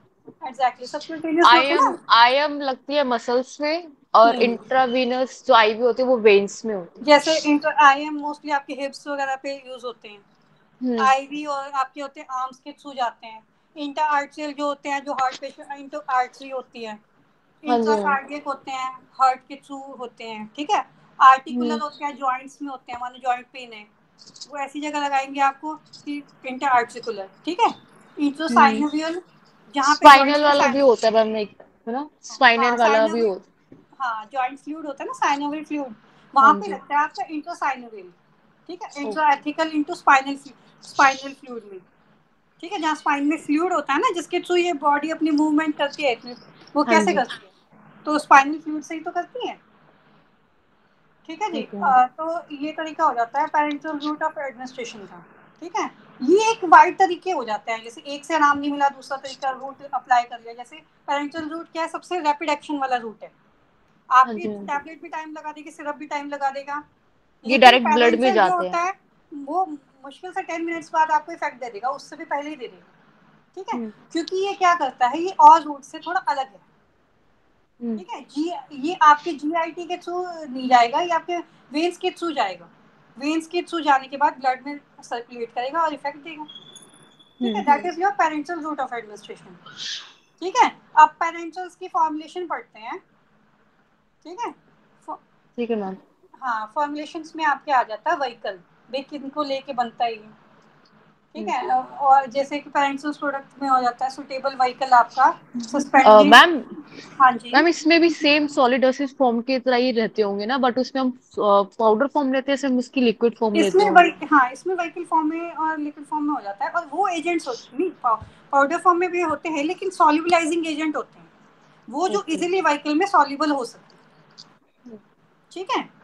वो तो वो हो जाता है जैसे बैक्टीरियोस्टेटिक वाटर यूज़ होता है इंजेक्शंस में स्टेराइल वाटर यूज़ होता है टॉक्सिक तो हम यूज़ कर ही नहीं सकते। कुछ कुछ ड्रग्स मैम जैसे कि एंटीबायोटिक्स आती है जो हम्म। हमारे जैसे कि पाउडर फॉर्म में आती है उनके साथ में वाटरफॉल इंजेक्शन साथ में दिया जाता है। हम्म, हम्म, बिल्कुल। वो क्यों होता अगर अब हाँ, अगर अग, नहीं कुछ जो लिक्विड जो इंजेक्शन होते हैं कुछ पाउडर फॉर्म में आते हैं साथ में वाटर वाटरफॉल इंजेक्शन दिया जाता है। हाँ उनको हम साथ में भी इंजेक्शन बना के भी तो दे सकते हैं। पर पता क्या होता है? स्पेशली पर्टिकुलर ये हो जाता है ना व्हीकल्स इसीलिए तो बैक्टीरिया जैसे है वाटर है वाटर कौन सा प्रेफर होगा? ठीक है? okay. एक होता है insoluble in water medicament medicament की भी तो टाइप देखी जाती है ना। हाँ susceptible to hydrolysis break down तो नहीं हो रहा तो वो चीज़ें भी बहुत ध्यान में रखी जाती हैं चीज़ें। नॉन एक्वस सॉल्वेंट हो गए जैसे पॉलीथाइलिन ग्लाइकोल पीजीज यूज़ होते हैं प्रोपाइलिन ग्लाइकोल एल्कोहल ये चीज़ें वाइकल्स जो होते हैं ना आप कहते हैं इसके साथ वो वो यूज़ होते हैं। ये वाइकल्स बेस ये इसीलिए बनाया जाता है। ठीक है? Okay. हाँ तो इसमें क्या है? सॉल्बिलाइजिंग एजेंट हो गए। वो एजेंट सॉल्बिलाइजिंग एजेंट का मतलब होता है कोई चीज़ ऐसी है कि जो सॉल्युबल नहीं हो पा रही। तो उसमें क्या इजीली सोल्यूबल हो जाती है हाँ उसका सपोर्टिंग एजेंट कह सकते हैं। हाँ जैसे कार्बोवैक्सिस होगी ट्विन हो गया पॉलीसॉल्वेट्स हो गए कोसोल्वेंट्स हो गए ये सब सॉल्युबलाइजिंग एजेंट को बढ़ा देते हैं। ठीक है? स्टेबलाइजर्स यूज़ होते हैं। अब प्रोडक्ट को स्टेबिलिटी भी चाहिए भाई। हम्म। ठीक है? Drug present in the injection में अंडर गो हाइड्रोलिसिस और ऑक्सीडेशन क्योंकि पेरेंट्स में ऑक्सीडेशन और हाइड्रोलिसिस का प्रोसेस स्टार्ट होता है। ठीक है जी? हाँ जी। हाँ। ठीक है। तो, तो इसमें क्या है? बहुत चीज़ें जैसे बफरिंग एजेंट हो गए पीएच मेंटेन करने के लिए। हम्म। ठीक है? टोनिसिटी फैक्टर हो गया आपका। ये यूज़ होता है। एंटी माइक्रोबियल प्रिजर्वेटिव वो प्रिजर्वेटिव जो एंटी माइक्रोबियल हो जिसमें माइक्रोब सेंटर ना हो सके। ठीक है? वेटिंग और सस्पेंडिंग एजेंट हो गए। ठीक है? ये चीज़ हो जाती है। अब आ जाते हैं देखो इसकी पैकिंग पे। ठीक है? पैकिंग में आ जाता है आपका। अभी तक आपको क्लियर हुआ ये सब? हाँ जी मैम। अच्छा कहीं पे कोई क्वेरी हो तो पूछ लेना। ठीक है इंजेक्शन आपके जो है सिंगल डोज कंटेनर और मल्टीपल डोज कंटेनर में पैक होते हैं। ये तो हो गया बनने की बात होगी व्हीकल्स ये यूज़ होते हैं। ठीक है हमने स्टेलाइज भी कर लिया हमने प्रिपरेशन भी देख ली हमने सॉलिबलाइजिंग एजेंट के बारे में भी पढ़ लिया हमने ये भी देख लिया कि एंटी माइक्रोबियल प्रिजर्वेटिव यूज़ करते हैं। ठीक है हमने बनाने का प्रोसेस देख लिया हमने स्टेलाइजिंग का भी देख लिया। अब भाई जब ये चीज़ें बन गई हैं तो पैक भी होंगी। ठीक है पैकिंग होगी तो दो तरीके के single dose container multiple dose container ठीक है? सिंगल डोज कंटेनर में क्या होगा? आपका एक तो ये स्टोरिलिटी आपको चाहिए होंगी एम्प्यूल्स फॉर्म में होता है एक तो आपका। ठीक है जी? इवेल्युएशन पेरेंटल प्रोडक्ट्स जैसे आप ये तो पैकिंग में आपका रहता है एम्प्यूल्स वाइल्स हो जाते हैं। ठीक है? सील्ड कंटेनर ताकि आपके माइक्रोब्स एंटर ना हो सके। मैंने कहा ना ampoules vials highly quality glass. वो क्वालिटी ग्लास जो इफ़ेक्ट ही ना कर सके। अब आ जाते हैं भाई देखो बन गई है पैकिंग हो गई। अब हाँ किसी चीज़ का इवेल्युएशन टेस्ट कैसे करेंगे? स्टेरिलिटी टेस्ट करेंगे। ठीक है? पायरोजन टेस्ट करेंगे। पायरोजन फ्री है या नहीं है? क्लैरिटी टेस्ट करेंगे लीकेज टेस्ट ठीक है? हम्म। तो इसमें ये करने के बाद आपका आ जाता है ये आपने कर लिया। ठीक है? पेरेंशियल्स वेरेंशियल्स के बारे में। अभी तक हाँ आपको जितना हो गया क्लियर ठीक है क्लियर हाँ ये सब आपकी टाइप हो जाती है। ओके ठीक है? हाँ तो इसमें इसकी इवैल्यूएशन टेस्ट की टाइप है। हाँ ये, ये मतलब ये चार टेस्ट होते हैं। हम्म, ठीक है हाँ जी। बिल्कुल बिल्कुल। ये इसकी टाइप हो जाती है। स्टेरिलिटी टेस्ट में वही हम स्टेरिलाइजेशन देखते हैं कि इसमें माइक्रोब्स हैं कि नहीं कितने होंगे वो सब होता होगा। और हाँ पैराजन हाँ। टेस्ट में वही पैराजेनिक हो रहा है कि नहीं हो रहा उसमें भी हाँ वही। हाँ पैराजन फ्री है क्लैरिटी है लीकेज लीकेज टेस्ट टेस्ट में कि जो जिस कंटेनर में है उससे लीक नहीं हो रहा या लीक हो रहा है कि नहीं? में इसमें ब्रोमोथाइमोल ब्लू यूज़ करते हैं लीकेज टेस्ट का अपरेटस होता है जिसमें एम्प्यूल्स फिल करे जाते हैं। ठीक है उसमें शेकिंग प्रोसेस होता है अगर कोई और डिस्ट्रॉयड होगा तो वो निकल जाएगा। क्लियरिटी टेस्ट का मीनिंग तो ये होगा कि वो कितना क्लियर मैग्नेशियम पार्टिकल्स तो नहीं रह गए हैं। हाँ हाँ मे बी यही एग्जैक्टली एग्जैक्टली तो इसमें क्या है? ऑप्थेल्मिक अब आ जाते हैं देखो ऑप्थेल्मिक पे। ठीक है? इसमें आपकी आइड्रॉप्स हो जाती हैं। ठीक है? आइड्रॉप्स हो गई जिसमें आपकी स्टेरलाइट इसमें भी स्टेरिलिटी बहुत चाहिए होती है। ठीक है? आइसोटोनसिटी होगी ठीक है? ये आपके ये कुछ पॉइंट्स होते हैं जिनको लेके आइडियल पॉइंट्स होते हैं जिनके लेके कोई प्रिपरेशन आपकी एक्सटर्नल बनती है। जैसे आइसोटोनसिटी होगी बफरिंग होगी विस्कोसिटी होगी सरफेस एक्टिविटी क्लैरिटी और बायोअवेलेबिलिटी कि कोई कितनी बायोलॉजिकल ये आपकी ड्रग कितनी अवेलेबल है आपके बायोलॉजिकल सिस्टम में। ठीक okay. है हाँ स्टेरिलिटी तो वही एज यूजुअल आपने पढ़ा है जो मैंने आपको ऊपर स्टेरिलिटी के बारे में डिफाइन किया है। यस सेम ठीक है? आइसोटोनिसिटी क्या हो जाता है? लक्राइमल सिक्रीशन आपकी बॉडी में से आई ड्रॉप्स आप डालते हो कितनी सिक्रीशन हो रही है? कि हम्म। कितना कंटेंट आपके अंदर जा रहा है और कितना कंटेंट बाहर आ रहा है? बाहर आ रहा है। ठीक है? जैसे आप डालते हो वो लेकर वो एकदम से आँसू निकलते क्यों निकलते हैं? लेक्राइमल सिक्रीशन ही तो होता है। तो उसको ध्यान में हम्म। रखते हुए कि आपके प्रॉपर कंटेंट बॉडी की आई ड्रॉप की उसके अंदर जाए। ठीक है? ये आपका आइसोटोनिसिटी हो जाता है इसमें। ठीक है? हम्म। अब आ जाओ देखो बफरिंग पे। अब वही कि उसमें कितना एसएचओ का बेसिक है कितना इफ़ेक्ट करेगा आईज को हाँ हाँ बफरिंग में हो जाता है कि कितना जैसे सेवन पॉइंट फोर मोस्टली हमारा पीएच ये रहता है ठीक है वो इरिटेट ना करे टीयर्स ना आने दे ठीक है? विस्कोसिटी हम्म। हो जाती है विस्कस होनी चाहिए बहुत लिक्विफाई होगी तो टिकेगी ड्रग सरफेस एक्टिविटी भाई जो आपका टिश्यू है वेटिंग टिश्यू है पेनिट्रेशन वाला कॉर्निया का।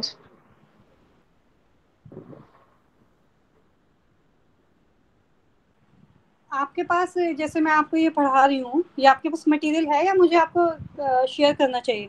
शेयर करना वो वो जो उसकी ऐप आती है ना इग्नू की ई कर ई वाली। हाँ जी हाँ जी हाँ जी। उसमें से है डाउनलोड किया हुआ।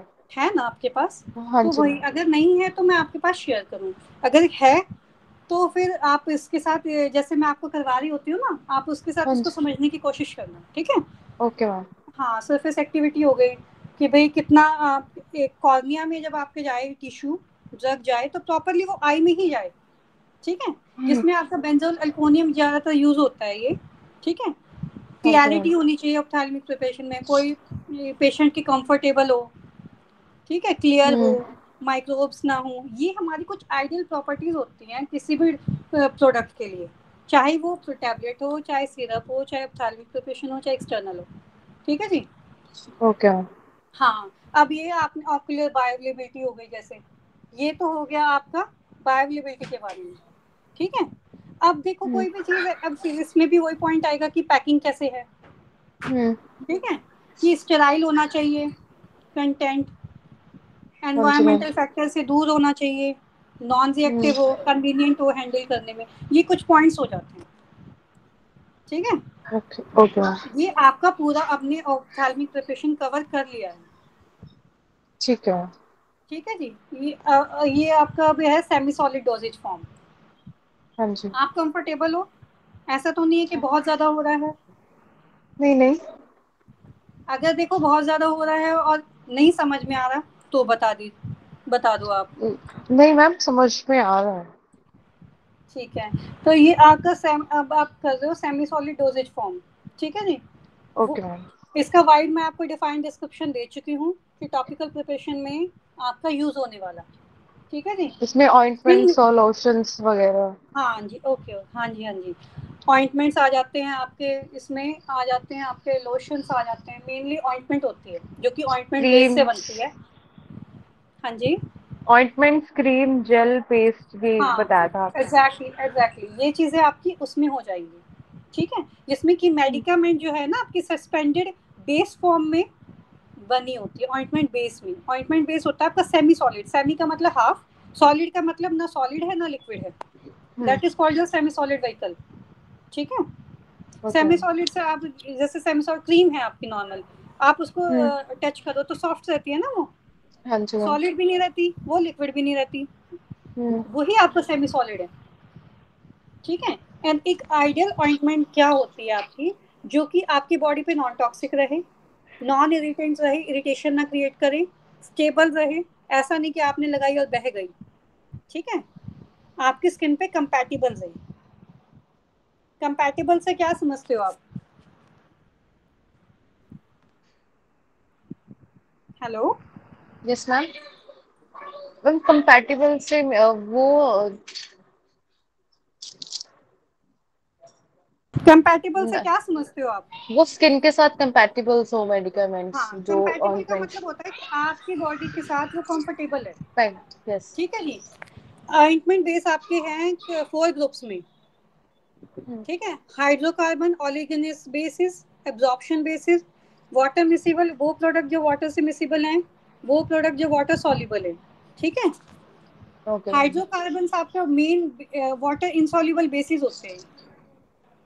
ठीक है? जो स्किन को सॉफ्ट रखते हैं स्टिकी दे आर मतलब ये लगा लो आपकी लॉस ऑफ़ वाटर वाटर नहीं आने देते स्किन को सॉफ्ट रखते हैं ठीक है? हम्म। और आपकी मेडिकामेंट जल्दी एब्जॉर्ब हो जाती है ये आपका हाइड्रोकार्बन आ जाता है। ठीक है? एब्जॉर्प्शन बेसिस में हो जाते हैं वो हाइड्रोफिलिक यानी कि water loving in nature bases ठीक है? हाइड्रो माने वाटर फिलिक माने लविंग ठीक है? दे कैन अब्सॉर्ब वाटर और aqua solution resulting in formulation of water जब आपके फॉर्मुलेशन में वाटर के साथ ही मिक्स हो जाते हैं ठीक है? तो एक गुड इमोलियंट और गुड प्रिपरेशन आपके प्रिपेयर करके देते हैं। वो होते हैं आपके अब्जॉर्प्शन बेसिस ठीक है हाँ जी। एक और आते हैं आपके वाटर इमिसिबल और इमल्शन बेसिस भी बोलते हैं हम उनको। वो बेसिस वो होते हैं जो ऑयल इन वाटर इमल्शन होती है ना आपकी जो आप पहले बता हाँ रहे थे मैंने भी आपको हाँ बताया। वो आपकी हो जाता है जिसमें आपकी क्रीम्स आती हैं। क्रीम लाइक अपियरेंस आती है। हम्म। ठीक है जो लग भी जाती है और लगने के बाद जब आप अपना फेस वॉश करते हो तो इजिली वॉश हो जाती है। ऐसा नहीं है कि स्टिकी है। एब्जॉर्प्शन बेसिस वाली क्या होती है कि वो स्टिकी रह जाती है। हम्म। ठीक है? और एक होती है वाटर सॉल्यूबल बेसिस वाली होती है ग्रीसलेस एक होती है कि आपने लगाई ग्रीसी ग्रीसी लग रहा है आपको। चिपचिपा लग रहा है। ठीक है? एक वो वाली हो जाती है ग्रीसी लेस अगर वाटर मिसिबल से भी अलग वाइट वैरायटी में आ जाती है वाटर सॉल्युबल वाली। ठीक है? अब इसमें आ जाता है फैक्टर्स आपके आ जाते हैं जो इफ़ेक्ट करते हैं डर्माटोलॉजिकल ठीक है हर एक बॉडी के हर एक स्किन टाइप के अपने अपने टाइप्स हो जाते हैं। जैसे एब्जॉर्प्शन रेट किसी स्किन का कोई है किसी का कोई है। ठीक है? डर्माटोलॉजी तो हम उन चीज़ों को डर्माटोलॉजिकल फैक्टर्स को ध्यान में रख के किसी भी चीज़ को ऑइंटमेंट को क्रीम को जेल को बनाते हैं। ठीक है? एब्जॉर्प्शन हो गए रिलीज़ रेट हो गए। इफ़ेक्ट स्किन पे कितना हो रहा है मिसेबल कितनी है कंपैटिबल कितनी कंपैटिबिलिटी हाँ जी स्किन सेक्रेशन से कितनी कंपैटिबल है? किसी का स्वेटिंग वाला फेस है आपने क्रीम किसी की ऑयली स्किन होती है किसी, किसी की ऑयली स्किन है किसी की ड्राई स्किन है कंपैटिबल विद स्किन सेक्रेशंस ठीक है? Freedom from irritant effect emollient property ease of application यानी इजी टू अप्लाई और इजी टू रिमूव ठीक है? ये कुछ डर्माटोलॉजिकल फैक्टर्स होते हैं जिनको ध्यान में रख के ऑइंटमेंट बेस बनाते हैं। ठीक है? नेक्स्ट आ जाता है आपका फार्मास्यूटिकल फैक्टर